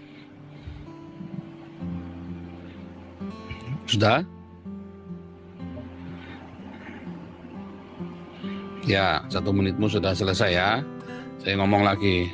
Jadi, Muhammad ap- apa yang diwariskan Yesus kepada Muhammad? Muhammad itu kawin cerai, Muhammad itu niduri bocil, niduri babu, niduri mantu, membunuh. Yesus nggak pernah ngajarin kita itu. Yesus ajari kita untuk hidup di dalam kekudusan. Satu suami dengan satu istri, tidak boleh kawin cerai. Kamu ngelihat perempuan kepengin, itu sudah cabul. Muhammad bukan cuman kepengin, bahkan yang bukan istrinya pun dia nipu nipu istrinya, suruh pergi ke bapaknya, lalu budaknya istrinya di oh oh oh di kasurnya istrinya sendiri. Muhammad nggak apa? Muhammad sama sekali tidak meneladani Yesus. Teladan apa yang dilakukan oleh Muhammad? Apa yang diwariskan Yesus kepada Muhammad? Nggak ada. Tetapi Yesus mewariskannya kepada para rasul kepada kita semua. Roh kudusnya itu diberikan roh kudus roh aku akan mengirimkan rohku kepadamu. Roh kudus makanya disebut roh Yesus. Para rasul tidak poligami para rasul tidak berzina para rasul tidak membunuh para rasul tidak niduri anak kecil pembantu babu enggak. Setia pada satu istri. Para rasul ya hidupnya saling mengasihi. Yesus mengajari ngasih makan jangan membunuh ngasih ngasih makan. Para rasul melakukannya. Yesus ngajari mengobati yang sakit para rasul melakukannya. Tapi Muhammad ngajari ngerampok. Lalu apa ini teladani sama Muhammad? Teladan Yesus roh Yesus itu diberikan kepada para rasul dan kepada kami orang-orang yang percaya kepada Yesus. Ya silakan Renaldi satu menit. Low battery. Please charge. Ya? Yesus sudah pergi dan meninggalkan dunia ini. Berarti Allah itu kalau dengan kepergian Yesus setelah kepergian itu harusnya kiamat. Sementara dunia ini tidak kiamat, berarti Ruhullah itu masih ada. Ruh Kudus itu masih ada di dunia ini. Jadi siapa pewarisnya Yesus itu? Bukan bukan kita sebut Muhammad, terserahlah bukan Muhammad ya. Kalau tahu nggak setuju Muhammad ya sudah nggak apa-apa. Tapi nggak usah mencaci maki Muhammad. Yang perlu kita cari yaitu Ruhullah Ruh Kudus itu siapa? Yang diberikan oleh Yesus sebagai pewarisnya itu. Hmm, itu yang harus tahu jelaskan. Bukan malah uh, ngatain Muhammad. Itu buat apa? Saya nggak nanya itu Izin dulu bicara sedikit Pak Paul boleh? Nggak boleh nanti sebentar saya selesaikan dulu. Jadi ya, jadi tadi sudah saya bilang Roh Kudusku kata Yesus ya, aku akan mengirim Roh Bapakku. Roh Bapakku ini adalah Roh Kudus. Dalam kisah para rasul disebut dengan Roh Yesus. Roh Yesus berikan kepada siapa? Kepada para rasul yang mewarisi apa yang Yesus lakukan. Kamu akan melakukan perbuatan-perbuatan yang aku lakukan bahkan lebih besar ya para rasul dan para pengikut Kristus. Roh Kudus itu diberikan di hari raya Pentakosta itu kepada kami. Tapi bukan kepada Muhammad. Saya tidak mencaci maki Muhammad karena kamu sedang menunjukkan kepada Muhammad. Saya bilang tidak mungkin Roh Kudus itu diberikan kepada Muhammad. Karena Muhammad sama sekali berbeda dengan ajaran Yesus. Saya tidak mencaci maki, saya cerita fakta. Muhammad ngehek sama bocil, Muhammad ngehek sama babunya Hafsah, Muhammad yang ngehek sama menantunya sendiri, Muhammad membunuh, merampok, memperkosa, bahkan menyuruh murid-muridnya untuk memperkosa. Ya yang bukan itu kan kafir, tidak apa-apa diperkosa saja boleh itu hakmu. Apa yang dihalalkan oleh Allah tidak boleh kau haramkan. Itu buat nidurin babunya Hafsah, bukan muhrimnya ya lalu ajaran mana yang di, yang diajarkan oleh Muhammad yang sama dengan Yesus? Jadi Yesus mewariskan kepada siapa? Ya kepada para rasul muridnya. Ya kepada Petrus, Yakobus, Yohanes, bahkan kepada Rasul Paulus dan kepada saya Nabi ke-26. Makanya saya Nabi ke-26 meluruskan kesesatan dan kecabulan Muhammad. Itu bukan memaki. Saya sedang menyadarkan Anda, memberikan Anda fakta-fakta.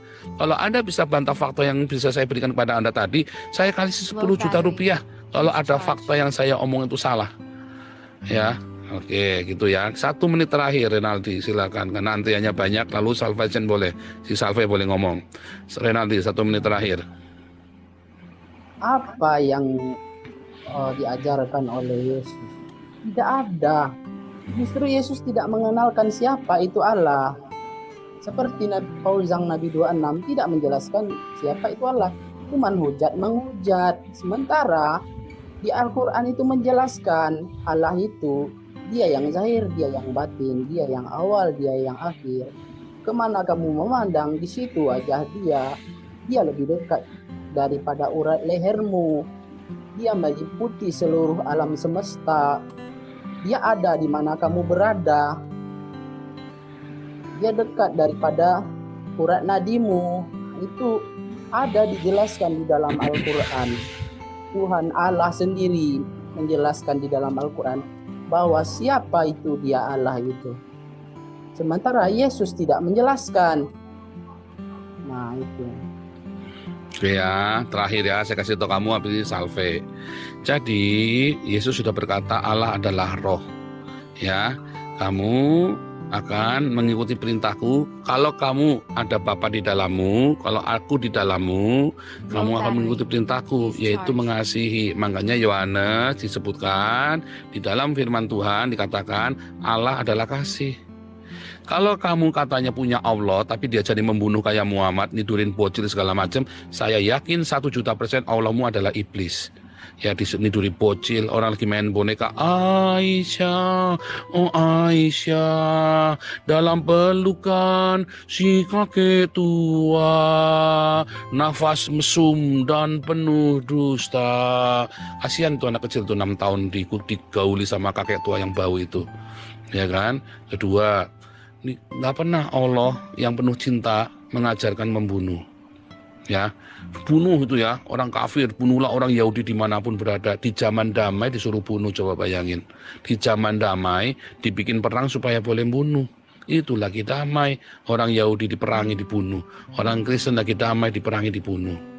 Ketiga ya Tuhan Yesus mengajarkan kita untuk apa? Kamu ngelihat perempuan ngaceng kamu sudah berdosa. Itu bukan muhrimu Muhammad ya babu pun digaulin jadi kalau Allah kamu tuh ngajarin seperti itu, Allah kamu tuh iblis. Ya, oke cukup. Salve silakan. Salve, satu menit. Shalom, shalom. maaf. Shalom, salve. Jadi gini, saudara.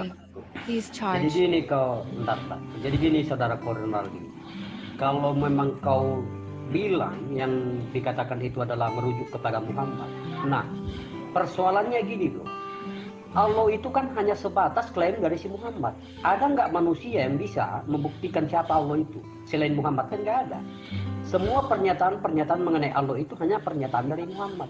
Dan kalau kamu mengatakan segala yang ada yang tercipta di dunia jauh sebelum si Muhammad ada, mengklaim menjadi nabi dan memperkenalkan Allah SWT itu, di alam semesta ini sudah ada bro. Kehidupan sudah ada. Gitu loh. Nah gini loh maksud saya gini loh. Di zaman sekarang banyak juga manusia yang menggunakan atas nama Tuhan hanya untuk mendapatkan kepentingan dirinya sendiri. Nah, di zaman dulu juga seperti itu. Jadi kita harus cerdas. Bener bener gak sih ini Nabi? Apa sih tujuan dari Nabi? Nah kita baca ayat-ayatnya. Kira-kira ada nggak ayat-ayat menguntung hanya ayat-ayat yang diciptakan hanya untuk menguntungkan dirinya? Contoh Oke, nih. cukup salve, Oh, satu oke, menit. Cukup ya. Satu menit ya. Ini mungkin Manly, Manly mau ngomong juga nih Manly. Iya, iya, Minli. Yang lain dulu gantian. Boleh ya.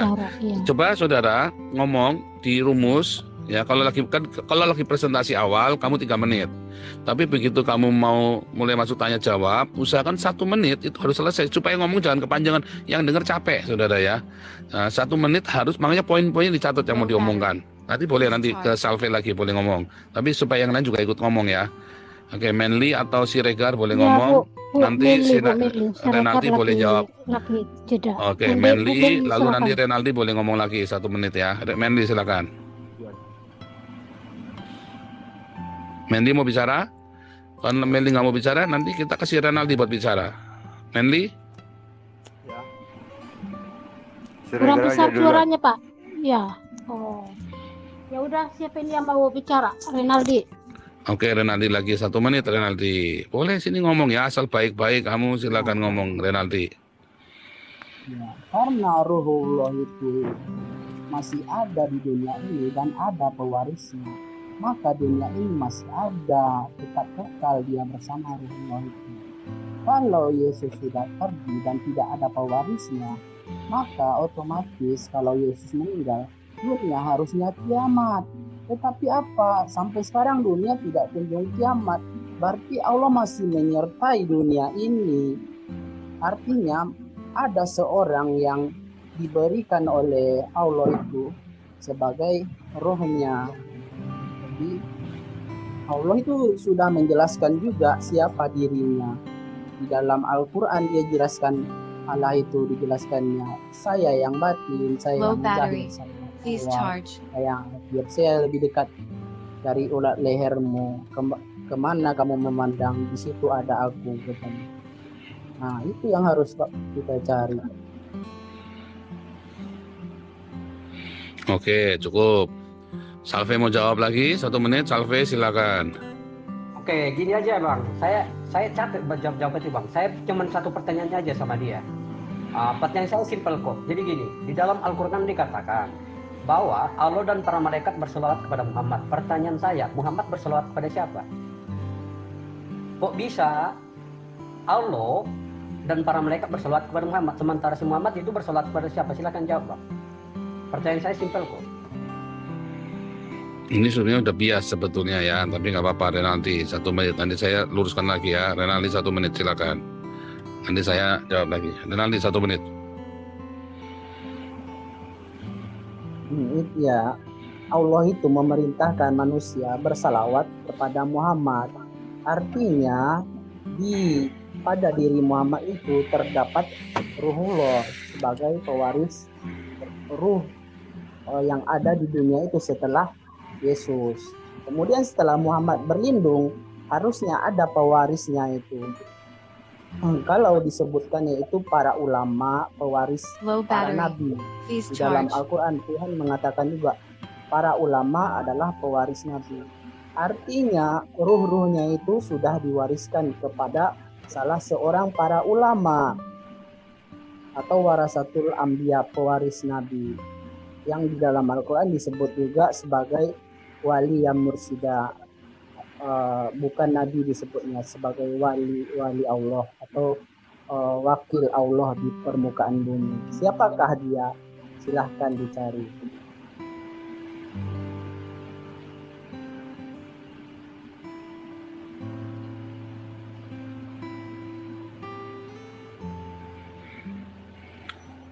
Jadi Renaldi, ya tadi sudah saya bilang Yesus tidak mewariskan apa pun ke Muhammad, tapi iblislah yang mewariskan kepada Muhammad.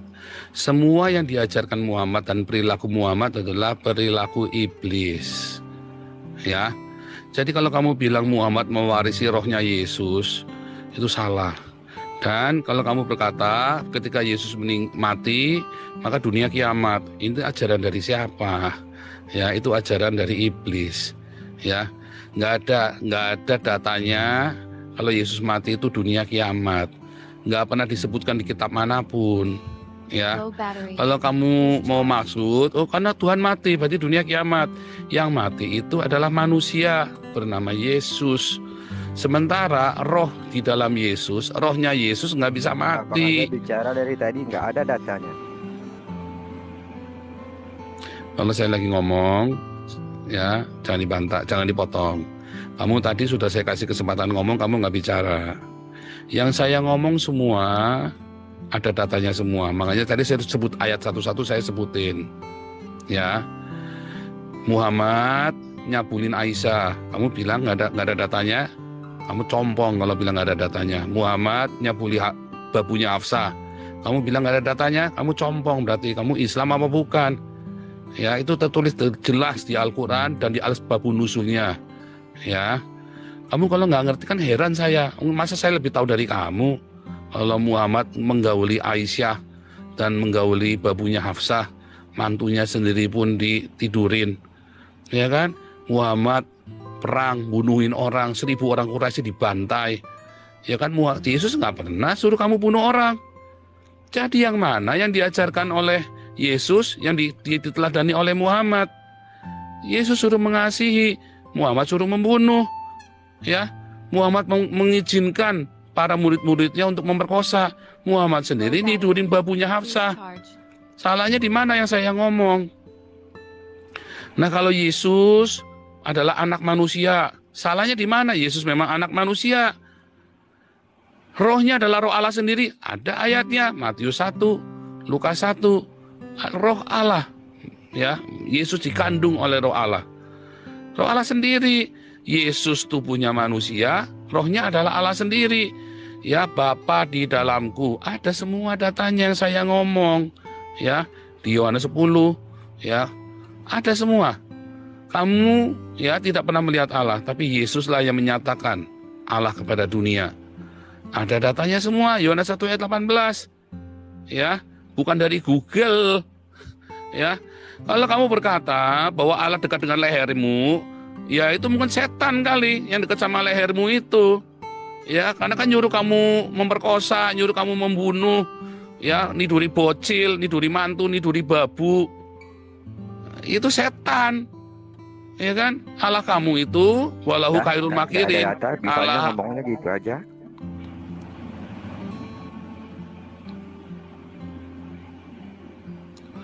Allah Maha Penipu Daya. Ya, walahu khairul makirin Al Imran 54.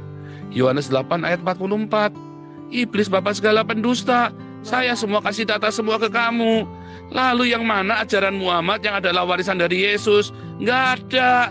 Kamu kalau bisa kasih datanya, saya kasih kamu 10 juta rupiah. Silakan Manly, satu menit. Lalu lalu ajaran apa yang Bapak ikuti dari Yesus? Ajaran mana yang yang Selesaikan satu menitmu. Silakan, ngomong.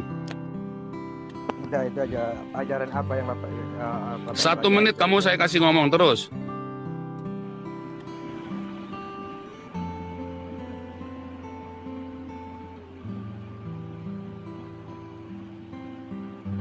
Sudah? Manly? Ya. Sudah? Sudah. Kalau saya ngomong jangan dibantah, jangan dipotong ya. Kalau kamu saya pot- kalau saya. kamu potong saya lagi ngomong kamu potong tak pisui kamu. Ya. Sudah belum? Sudah. Ya, ajaran apa yang saya teladani dari Yesus? Ya, ketika Agustan misui saya mau ngorok leher saya, saya bilang apa sama Agustan? Aku ampuni kamu Agustan. Dan satu bulan kemudian Agustan mewek. Bangun, aku minta didoakan Pak Pendeta. Kita doakan Agustan. Ada rekamannya, saudara ya. Ada buktinya. Sudah saya tampilkan di YouTube. Bahkan Zelda anaknya kita pelihara. Itu namanya mengasihi musuh-musuhmu padahal dia mau bunuh saya loh.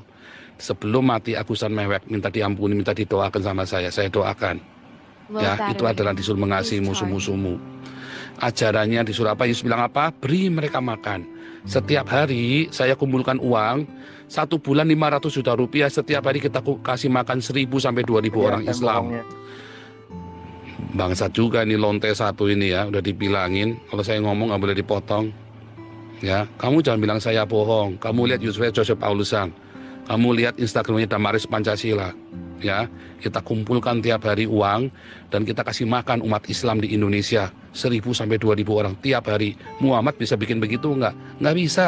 Siapa orang Islam bisa bikin begitu? Prabowo aja sampai Prabowo saja sampai mencontek program yang saya bikin kasih makan tiap hari. Ya. Itu yang ajaran Yesus yang diajarkan kepada saya. Ya, disuruh mengasihi walaupun orang Islam kalian semua kan mau penggal leher saya kan. Nyatanya saya kasih makan kalian. Itulah ajaran Tuhan Yesus. Ya. Mana Muhammad ngajarin begitu? Ya, Muhammad kan nyuruh penggal leher saya kan. Tuh lihat kamu lihat semua ada banyak ancaman-ancaman penggal leher saya. Itulah ajaran Islam, ajaran dari iblis. Ya. Satu menit lagi, Melvi silakan satu menit kamu ngomong. Milvi buka mute, buka mute-nya ngomong Menli, Pak dulu, Menli, Bu. silakan satu menit. Iya. Hmm. Silakan Nggak- Pak Milmi. Nggak bisa dijawab mana ini si Menli ini. Satu menit kamu. Tadi tadi saya ngomong, ya kamu ngomong saya dengerin. Giliran saya ngomong dipotong-potong terus. Dasar lonte juga kamu nih lonte kali jodoh nih kamu nih. Aduh. Dia udah nggak bisa jawab, Pastor. Dia udah udah udah nggak bisa jawab. Ya, Salve lagi nih, Salve tadi. Salve tadi silakan jawab anu jawab yang punya Renaldi tadi mengenai solawat. Saya emang nggak urusan dengan solawat segala macam, tapi Salve mau ngurusin solawat terserah ada. Satu menit Salve. Iya, Jadi gini, pertanyaan saya nggak kau jawab, nggak jawab tadi. Belum Yang dijawab. Saya tanya itu, nggak pertanyaan saya itu simpel tadi itu. Allah dan para, malaikat kan berselawat kepada Muhammad, lalu Muhammad berselawat. Nah, kalau kamu asumsikan uh, Roh Kudus itu kepada si Muhammad lalu, berarti ngapain kalian dalam setiap hari masih meminta ya Allah berilah keselamatan kepada Muhammad dan keluarganya. Nah kan gila namanya itu. Masa seorang nabi kau kau doakan seperti itu? Ya apalagi kamu nabi aja nggak bisa nggak belum selamat apalagi kamu. Nah coba dijawab dulu di dalam Al-Quran dikatakan Allah berselawat eh, Allah dan para malaikat berselawat kepada Muhammad nah lantas Muhammad berselawat kepada siapa silakan apakah si Muhammad yang lebih tinggi derajatnya dari Allah silakan Silakan yang mau jawab ini Renaldi atau Melnif. Silakan jawab. Lu pada nggak bisa jawab nih. Yang ti ada sini ada tiga muslim ya. Siapa yang mau jawab? Silakan. Ya, saya jawab. Salawat itu artinya cinta, kasih, salam. Salam itu diucapkan kepada siapa saja. Allah, Allah itu memerintahkan umatnya atau hambanya untuk bersalawat kepada Muhammad agar hambanya bersalawat juga kepada Muhammad. Artinya semua menebarkan kasih. Muhammad tidak pernah mengajarkan fitnah eh, apa yang dikatakan oleh Paul tadi seperti eh, apa kunci lepas segala macam itu saya nggak ngerti itu ya. Itu dari mana Paul dapat datanya begitu?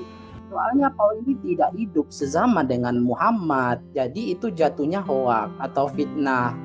Karena Muhammad tidak pernah seperti itu. Kalau dilihat Paul dari hadis-hadis, hadis itu banyak dipalsukan orang. Jangan jadi rujukan walaupun itu hadis disebut sahih. Itu tidak betul. Sekarang sudah dihapuskan hadis yang seperti itu di Arab Saudi sana. Ya, Paul jangan mengambil kalau kamu tidak paham gitu.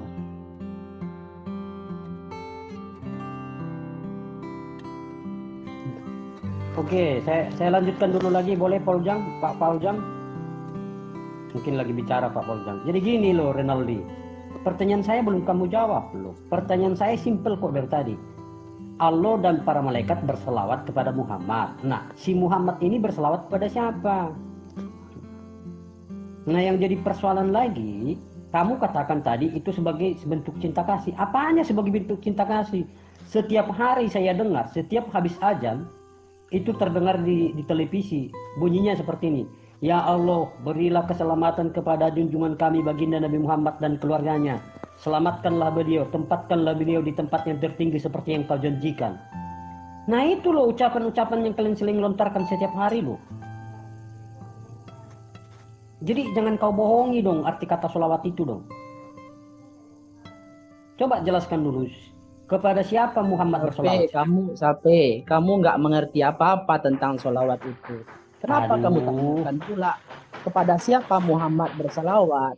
Sementara salawat itu artinya memberikan salam, yang memberikan salam itu Tuhan. Tuhan memerintahkan manusia agar bersalawat kepada Muhammad. Bukan Muhammad bersalawat kepada siapa. Ya, jangan kamu pertanyakan itu lagi seolah-olah Oh, kamu ini gini, gini, nggak gini, mengerti. berarti. Enggak gini berarti Ronaldi. Kamu harus akui berarti eh, derajat si Muhammad jauh lebih tinggi dari dari dari umat Islam, dari para malaikat dan dari Allah. Berarti derajat Muhammad yang lebih tinggi. Karena Allah bersolawat kepada Muhammad, malaikat bersolawat kepada Muhammad, umat Islam bersolawat kepada Muhammad, sementara Muhammad ber- nggak ada yang bersolawat kepada siapa siapa siapa. Berarti derajat siapa si Muhammad dong yang paling tinggi dong. Seharusnya si Muhammad yang jadi Tuhan. Logikanya begini Salpe, Salpe. Sebentar, sebentar. Gantian. Satu-satu ngomongnya ganti-gantian nanti ribut. Salve sudah? Salve sudah? Oke, Renaldi satu menit. Gantian ya kalau ngomong Sudah, jangan. sudah, sudah, sudah. Ya, satu menit, Renaldi. Satu menit terakhir ya, nanti Ya, saya kasih omongan. Salpe itu pertanyaannya salah. Yang ditanyakan kepada siapa Nabi Muhammad, Nabi Muhammad itu bersalawat untuk siapa? Nabi Muhammad itu mendoakan umatnya. Allah yang memerintahkan Muhammad itu untuk bersalawat. Eh, Allah memerintahkan Allah mengucapkan selamat kepada Nabi Mu- Muhammad. Otomatis ya umatnya atau hambanya itu mengucapkan salam juga ya. Jadi bukan pada siapa kamu pertanyaannya itu salah. Jadi pertanyaan salah itu tidak bisa dijawab dengan uh, jawaban yang benar. Ya nggak nyambung kamu itu kamu kalau Oke. dijelaskan nggak ngerti juga nah, Ya, gantian saya ngomong ya. Ini kamu Renaldi, kamu ini Islam tapi kamu tidak ngerti ajaranmu sendiri. Saya tidak pernah memfitnah Renaldi. Ya, kamu bisa buktikan nggak kalau Muhammad tidak pernah niduri bocil yang namanya Aisyah? Ngesek. Uh, uh, uh, uh, uh, uh. Buktikan kalau saya bohong. Tak kasih kamu 10 juta rupiah. Ya, buktikan kalau Muhammad tidak pernah niduri babunya yang babunya si Hafsah di ranjangnya Hafsah. Ya. Kalau saya bisa buktikan kamu yang kasih saya 10 juta rupiah, Renaldi. Ya, artinya kamu sendiri kamu tidak mengerti kitab sucimu. Ya, buktikan kalau Muhammad tidak pernah ya menyuruh untuk membunuh orang Quraisy yang seribu itu. Ya Muhammad sendiri terlibat di dalam pembunuhan seribu orang Quraisy dan kamu rayakan sebagai Idul Fitri hari ini, ya kan? Yesus nggak pernah ngajarin, jadi nggak pernah ada ya ajak Muhammad itu mengikuti ajaran Yesus. Saya mengikuti ajaran Yesus, saya meluruskan kesesatannya Muhammad. Yesus berkata, kamu sesat karena di surga tidak ada kawin mengawinkan. Kamu di surga nanti kawin sama jerangkong, sama bidadari yang tulang betisnya itu sampai kelihatan itu kan jerangkong itu. Nah itu kamu ditipu sama Muhammad. Ya, dua artinya salawat saya ikut campur ya. Kata salawat itu artinya mendoakan. Ya, Allah, malaikat dan umatnya bersolawat kepada Nabi Muhammad. Nama Muhammad nggak pernah bersolawat kepada Allah. nah, gimana caranya coba? Nah, coba kamu lihat ya. Muhammad waktu Isra Miraj ketemu sama Isa, Harun, Musa, Abraham dan seluruh Idris dan selanjutnya di langit ke 1 2 3 4 5 6 7. Tujuhnya di Arsi. Ya, ketemu di sama Allah katanya. Walaupun itu pun nggak pernah ketemu ada tirai katanya Muhammad kan. Jadi nggak ketemu, ketemunya Jibril lagi, Jibril lagi. Pertanyaannya saya, Muhammad sekarang ini ada di mana? Renaldi, Isa, Harun, Musa, Abraham, Idris, Yahya ada di langit. Ya, bahasanya kita itu surga. Di surga pertama 2, 3, 4, 5, 7. Sekarang Muhammad ada di mana Renaldi? Ya, silakan satu menit buat kamu Renaldi. Ya, 10 menit lagi kita harus berhenti ya. Sangat 10 menit ya, silakan Renaldi. Ruh Muhammad itu sudah Allah jelaskan. Ruh Muhammad itu diwariskan kepada al ulama ulama pewaris Nabi. Kalau di dalam Al-Quran Allah sebutkan wali yang mursida, seorang wali Allah yang dia dikenal dan dia bisa menerangkan kepada umatnya apa itu, siapa itu Allah. Dia bisa menerangkan secara, secara gamblang Allah itu seperti apa sesuai dengan eh, kitab-kitab yang tertulis. Jadi semenjak Nabi Muhammad wafat belum ada lagi yang menjelaskan secara gamblang Allah itu siapa, bagaimana dan diterangkan secara gamblang kepada umat manusia. Termasuk Fauzang tidak menyerangkan apa-apa, cuman fitnah Muhammad itu sama saja nabi palsu.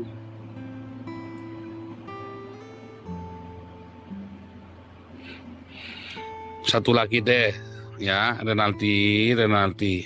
Yang mana yang saya fitnah kamu sebut yang mana saya fitnah. Kalau saya ada fitnah, saya jadi Islam sekarang juga Renaldi.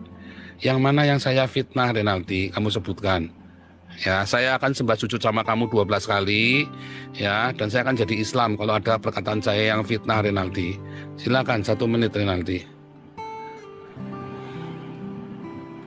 Paul mengatakan Muhammad itu oh oh oh kata Paul dengan bocil. Itu datanya Paul dapat dari mana? Bukankah itu fitnah tanpa data? Kalau realita pasti ada videonya, ada rekamannya, ada saksinya. Paul bisa meng- me- menghadirkan saksi nggak? Paul punya rekamannya nggak?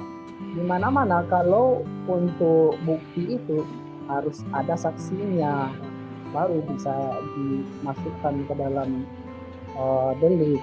Ini tidak ada buktinya apa-apa. Itu itulah yang disebut fitnah. Itulah yang disebut hoak. Kalau eh, Paul katakan itu ada di hadis, hadis itu adalah karangan manusia. Mungkin aja ada orang yang zalim mengarang-ngarang hadis. Jadi hadis itu kebanyakan sudah dihapuskan oleh pemerintahan Saudi sekarang itu Paul.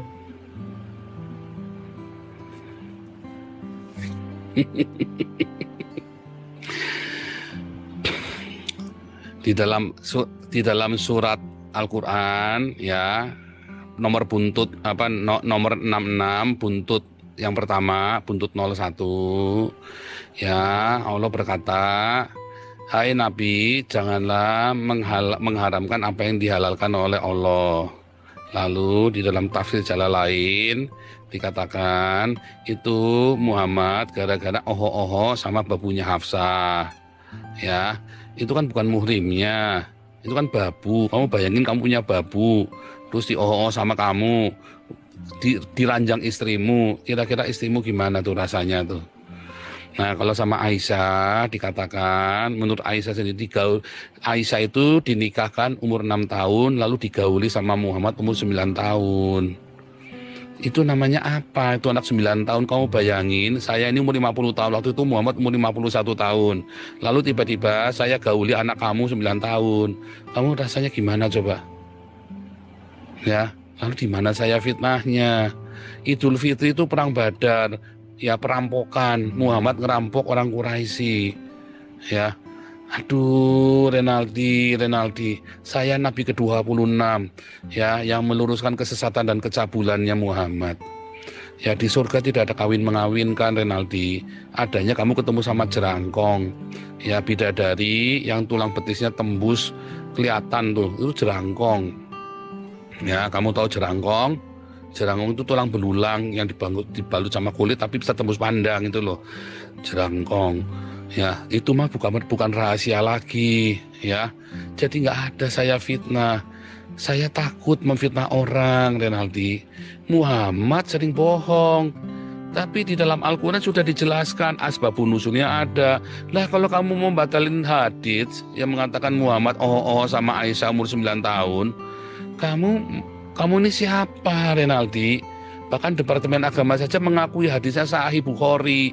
Ya di dalam di dalam era Dawud segala macam itu ada semua di dalam aduh satu-satu aduh banyak sekali terlalu banyak. Sampai saya juga bingung kalau kamu tidak ngerti hadis itu ya. Oke karena ini kita waktunya sudah habis saya mengajar 10 menit lagi. Mana ada saya kebencian? Saya mengatakan kebenaran ya. Kalau saya bohong ya kalau ada fitnah di mulut saya, saya akan sojakui sama kamu 12 kali dan saya akan jadi Islam sekarang juga. Justru saya ini mendapat wahyu dari Jibril, jebrol-jebrol, langsung Jibril bersabda, hati-hati Muhammad itu ndosbol, bacotnya ndosbol, cangkemen ndosbol, Muhammad hati-hati, jangan cabul juga. Oh, ha, memang dosbol. Jangan ketawa, memang dosbol, ya. Diomongin tidak percaya kamu. Ya sudah, ini kita udah gak ada waktu, saya mesti ngajar ya. Aduh, saya udah terlambat lagi nih. Oke, Salve berdoa ya, Salve ya. Silakan Salve berdoa, Salve. Ya, Salve silakan, berdoa ya. Berdoa Ya, silakan Pak. Salve. Aja. Enggak di tempat Salve. umum saya, silakan. Ya. Salve Saya berdoa. tempat- Ya, Pak pastor aja yang mimpin. Saya lagi di tempat umum. Waduh, Pak. kamu masa Silakan. berdoa saja kamu takut gimana sih? Ya udah, udah, udah, udah, udah. Ya, Pak. Ya. Ya udah, udah, Pak. Ah, atau Pak Es, Pak Es aja. Ya udah kamu saja, Salve ya. Saya berdoa, saya berdoa. Ya, terangkan, terangkan. Nah, kasih terangkan berdoa. Ma- ma- mari kita berdoa. Mari kita berdoa. Allah Bapa yang bertahta di sorga, kami bersyukur kepadamu buat ha- sore hari ini di tempat kami dan di tempat Pak Paul pada waktu sekarang. Biar kiranya lewat pertemuan ini Tuhan Engkau terus memberikan bagaimana Pak Paul terus menyampaikan kebenaran-kebenaran di dalam dialog-dialog ini. Kami berdua buat pengajarannya dalam beberapa perkuliahan yang sedang saat ini. Kiranya Tuhan memberkati supaya ada banyak anak-anak Tuhan menambah ilmu dalam keimanannya sehingga mereka menjadi alat Tuhan buat kemuliaan namamu. Terima kasih Tuhan, berkati saudara-saudara kami yang ada di Kombel dan juga penonton, biar mereka mengenal Yesus sebagai Tuhan dan Juru Selamat mereka. Dalam nama Yesus kami sudah berdoa. Amin. Kita kasih tepuk tangan buat Renati yang cantik dan ganteng dan manis. Luar biasa. Kalau orang tanya sopan-sopan saya kasih gift tuh. Tadi baru saya kasih gift tuh TikTok 15 tuh. Karena karena sopan. Saya senang ya sama Renaldi ini sopan sekali ya.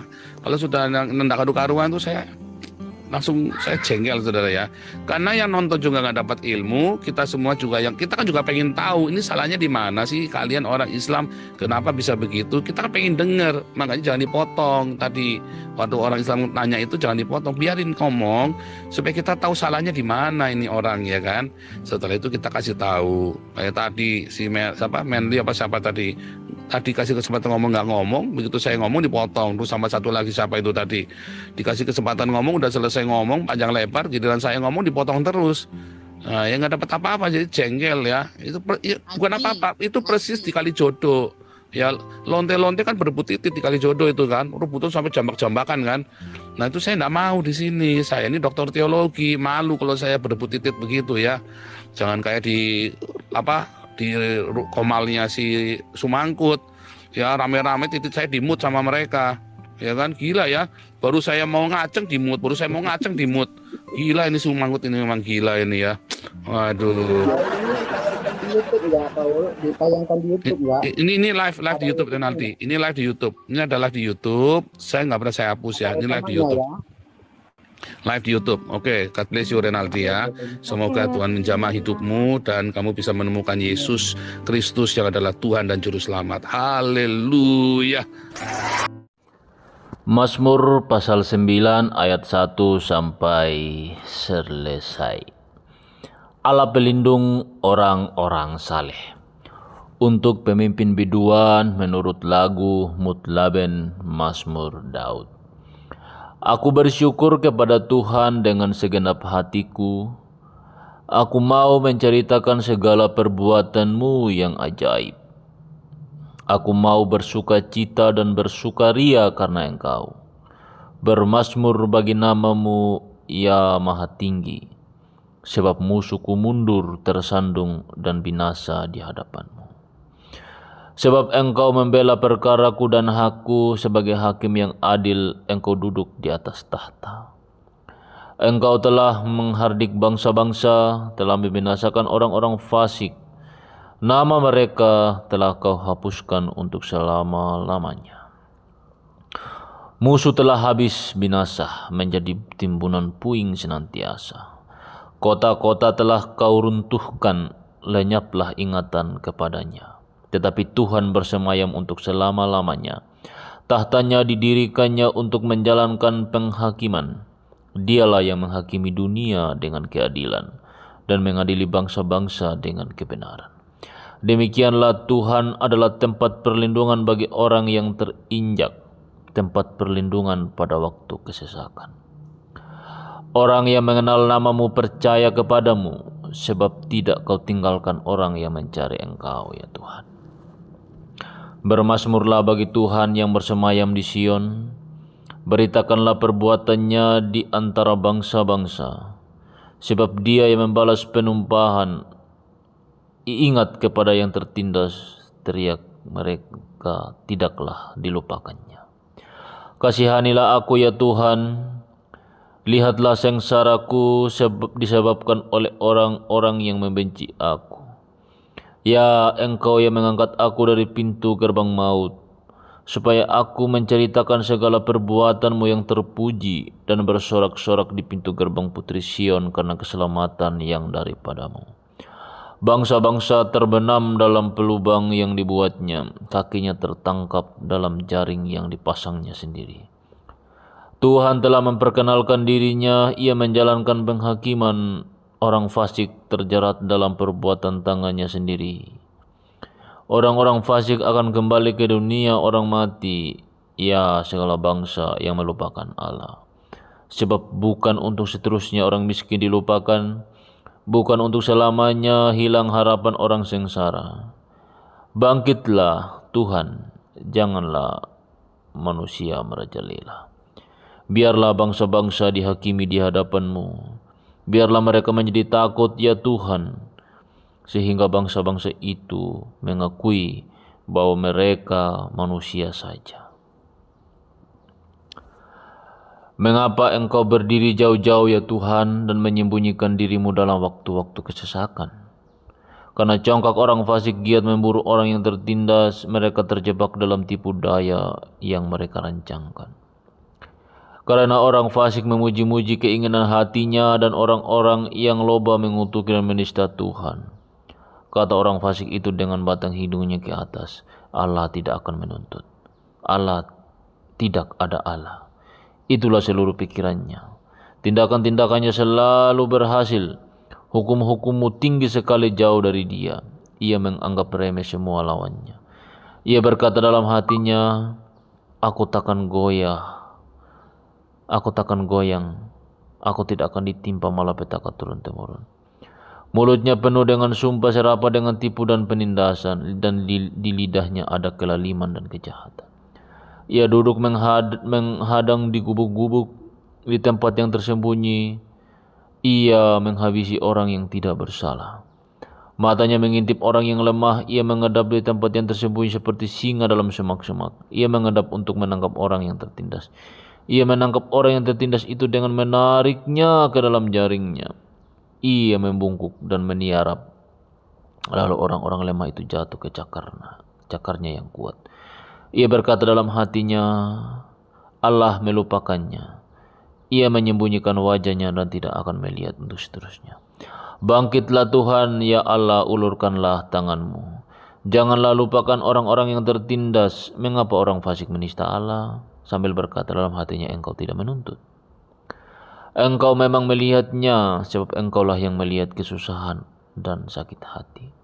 Supaya engkau mengambil ke depan tanganmu supaya engkau mengambil ke dalam tanganmu sendiri. Kepada mulah orang lemah menyerahkan diri dan anak yatim engkau menjadi penolong. Patahkanlah lengan orang fasik dan orang jahat. Tuntutlah kefasikannya sampai engkau tidak menemuinya lagi. Tuhan adalah Raja untuk seterusnya dan selama-lamanya bangsa-bangsa lenyap dari tanahnya. Keinginan orang-orang yang tertindas telah kau dengarkan ya Tuhan Engkau menguatkan hati mereka, engkau memasang telingamu untuk memberi keadilan kepada anak yatim dan orang yang terinjak, supaya tidak ada lagi seorang manusia di bumi yang berani menakut-nakuti.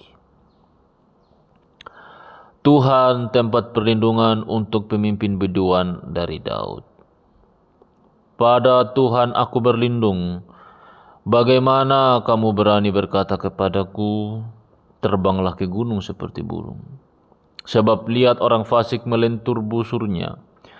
Mereka memasang anak panahnya pada tali busur untuk memanah orang yang tulus hati di tempat gelap. Apabila dasar-dasar dihancurkan, apakah yang dapat dibuat oleh orang benar itu? Tuhan ada di dalam baitnya yang kudus. Tuhan tahtanya di sorga. Matanya mengamati sorot matanya menguji anak-anak manusia. Tuhan menguji orang benar dan orang fasik. I dan ia membenci orang yang mencintai kekerasan. Ia menghujani orang-orang fasik dengan arang berapi dan belerang. Angin yang menghanguskan, itulah isi piala mereka. Sebab Tuhan adalah adil dan ia mengasihi keadilan orang yang tulus akan memandang wajahnya. Doa minta tolong terhadap orang yang curang untuk pemimpin biduan menurut lagu yang ke-8 Mazmur Daud, Mazmur 12. Tolonglah kiranya Tuhan sebab orang saleh telah habis, telah lenyap orang-orang yang setia dari antara anak-anak manusia.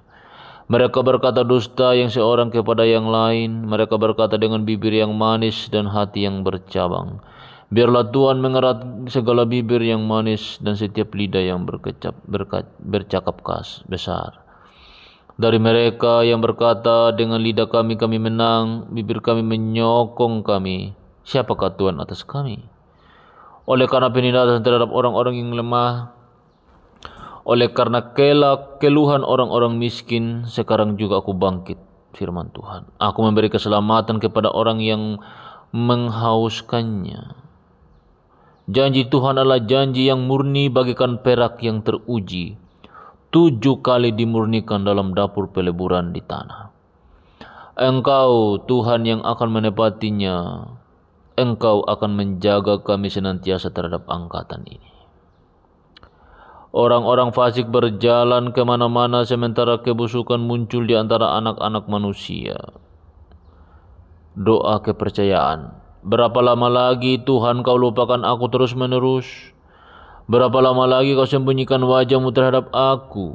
Berapa lama lagi aku harus menaruh kekhawatiran dalam diriku dan bersedih hati sepanjang hari? Berapa lama lagi musuhku meninggikan diri atasku? Pandanglah kiranya, jawablah aku ya Tuhan Allahku. Buatlah mataku bercahaya supaya jangan aku tertidur dan mati supaya musuhku jangan berkata aku telah mengalahkan dia dan lawan-lawanku bersorak-sorak apabila aku goyah. Tetapi aku kepada kasih setiamu aku percaya. Hatiku bersorak-sorak karena penyelamatanmu. Aku mau menyanyi untuk Tuhan karena ia telah berbuat baik kepadaku. Orang bebal berkata dalam hatinya, tidak ada Allah. Busuk dan jijik perbuatan mereka tidak ada yang berbuat baik. Tuhan memandang ke bawah dari surga kepada anak-anak manusia untuk melihat apakah ada yang berakal budi dan yang mencari Allah. Mereka semua telah menyeleweng, semuanya telah bejat, tidak ada yang berbuat baik, seorang pun tidak. Tidak sadarkah semua orang yang melakukan kejahatan yang memakan habis umatku seperti memakan roti dan yang tidak berseru kepada Tuhan? Di sanalah mereka ditimpa kekejutan yang besar sebab Allah menyertai angkatan orang benar. Kamu dapat mengolok-olok maksud orang yang tertindas, tetapi Tuhanlah tempat perlindungannya. Ya, datanglah kiranya dari Sion keselamatan bagi Israel. Apabila Tuhan memulihkan keadaan umatnya, maka Yakub akan bersorak-sorak, Israel akan bersuka cita. Siapa yang boleh datang kepada Tuhan? Tuhan, siapakah yang boleh menumpang dalam kemahmu? Siapa yang boleh diam di gunungmu yang kudus? Siapa yaitu dia yang berlaku tidak bercela, yang melakukan apa yang adil dan yang mengatakan kebenaran dengan segenap hatinya, yang tidak menyebarkan fitnah dengan lidahnya dan yang tidak berbuat jahat terhadap temannya dan yang tidak menimpakan celaka kepada tetangganya yang memandang hina orang yang tersingkir tetapi memuliakan orang yang takut akan Tuhan, yang berpegang pada sumpah walaupun rugi, yang tidak meminjamkan uang dengan makan riba dan yang tidak menerima suap melawan orang yang tak bersalah. Siapa yang berlaku demikian tidak akan goyah selama-lamanya. Bahagia orang saleh, miktam dari Daud. Jagalah aku ya Allah sebab padamu aku berlindung Aku berkata kepada Tuhan, Engkaulah Tuhanku dan tidak ada yang baik bagiku selain Engkau. Orang-orang kudus yang ada di tanah ini, merekalah yang orang mulia yang selalu menjadi kesukaanku. Bertambah besar kesedihan orang-orang yang mengikuti Allah lain, Aku tidak akan ikut mempersembahkan korban curahan mereka dari darah, juga tidak akan menyebut-nyebut nama mereka di bibirku. Ya Tuhan, Engkaulah bagian warisanku dan pialaku. Engkau sendirilah yang meneguhkan bagian yang diundikan kepadaku. Tali pengukur jatuh bagiku di tempat yang permai. Ya milik pusakaku menyenangkan hatiku. Aku memuji Tuhan yang telah memberi nasihat kepadaku. Ya pada waktu malam hati nuraniku mengajari aku. Aku senantiasa memandang kepada Tuhan karena ia berdiri di sebelah kananku. Aku tidak goyah, sebab itu hatiku bersuka cita dan jiwaku bersorak-sorak. Bahkan tubuhku akan diam dengan tentram sebab engkau tidak menyerahkan aku ke dunia orang mati. Dan tidak membiarkan orang kudusmu melihat kebinasaan. Engkau memberitahukan kepadaku jalan kehidupan. Di hadapanmu ada sukacita berlimpah-limpah. Di tangan kananmu ada nikmat senantiasa diburu dengan tak bersalah. Dengarkanlah Tuhan perkara yang benar, perhatikanlah suaraku, berilah telingamu akan doaku dan dari bibir yang tidak menipu. Dan padamulah kiranya datang penghakiman, matamu kiranya melihat apa yang benar. Bila engkau menguji hatiku, memeriksanya pada waktu malam dan menyelidiki aku, maka engkau tidak akan menemui sesuatu kejahatan. Mulutku tidak terlanjur tentang perbuatan manusia sesuai dengan firman yang engkau ucapkan. Aku telah menjaga diriku terhadap jalan orang-orang yang melakukan kekerasan. Langkahku tetap mengikuti jejakmu. Kakiku tidak goyah. Aku berseru kepadamu karena engkau menjawab aku ya Allah. Sendengkanlah telingamu kepadaku, dengarkanlah perkataanku. Tunjukkanlah kasih setiamu yang ajaib Ya engkau yang menyelamatkan orang-orang yang berlindung. Pada tangan kananmu terhadap pemberontak, peliharalah aku seperti biji mata, sembunyikanlah aku dalam naungan sayapmu. Terhadap orang-orang fasik yang menggagahi aku, terhadap musuh nyawaku yang mengepung aku, mereka tidak menunjukkan belas kasihan. Mereka membual. Mereka mengikuti langkah-langkahku mereka sekarang mengumurini aku. Mata mereka diarahkan untuk menghempaskan aku ke bumi. Merupa mereka seperti singa yang bernafsu untuk menerkam, seperti dom, seperti singa muda yang mengendap di tempat yang tersembunyi. Bangunlah Tuhan, hadapilah mereka. Rebahkanlah mereka, luputkanlah aku dengan pedangmu daripada orang fasik. Luputkanlah aku ya Tuhan dengan tangan tanganmu dari orang-orang dunia ini yang bagiannya adalah dalam hidup ini. Biarlah perut mereka dikenyangkan dengan apa yang engkau simpan, sehingga anak-anak mereka menjadi puas dan sisanya mereka tinggalkan untuk bayi-bayi mereka. Tetapi aku dalam kebenaran akan kupandang wajahmu, dan pada waktu bangun aku akan menjadi puas dengan rupamu. Ya teman-teman sekalian, eh, demikian bacaan kita. Kita sudah sampai di Mazmur pasal yang ke-17. Besok kita akan lanjut lagi ke Mazmur pasal 18 ayat 1 sampai seterusnya. Dan saya minta teman-teman untuk terus mengikuti perkembangan channel ini. Jangan lupa untuk dukung terus perkembangan channel ini lewat subscribe, like, komen, dan share. Tuhan Yesus memberkati kita semua. Shalom.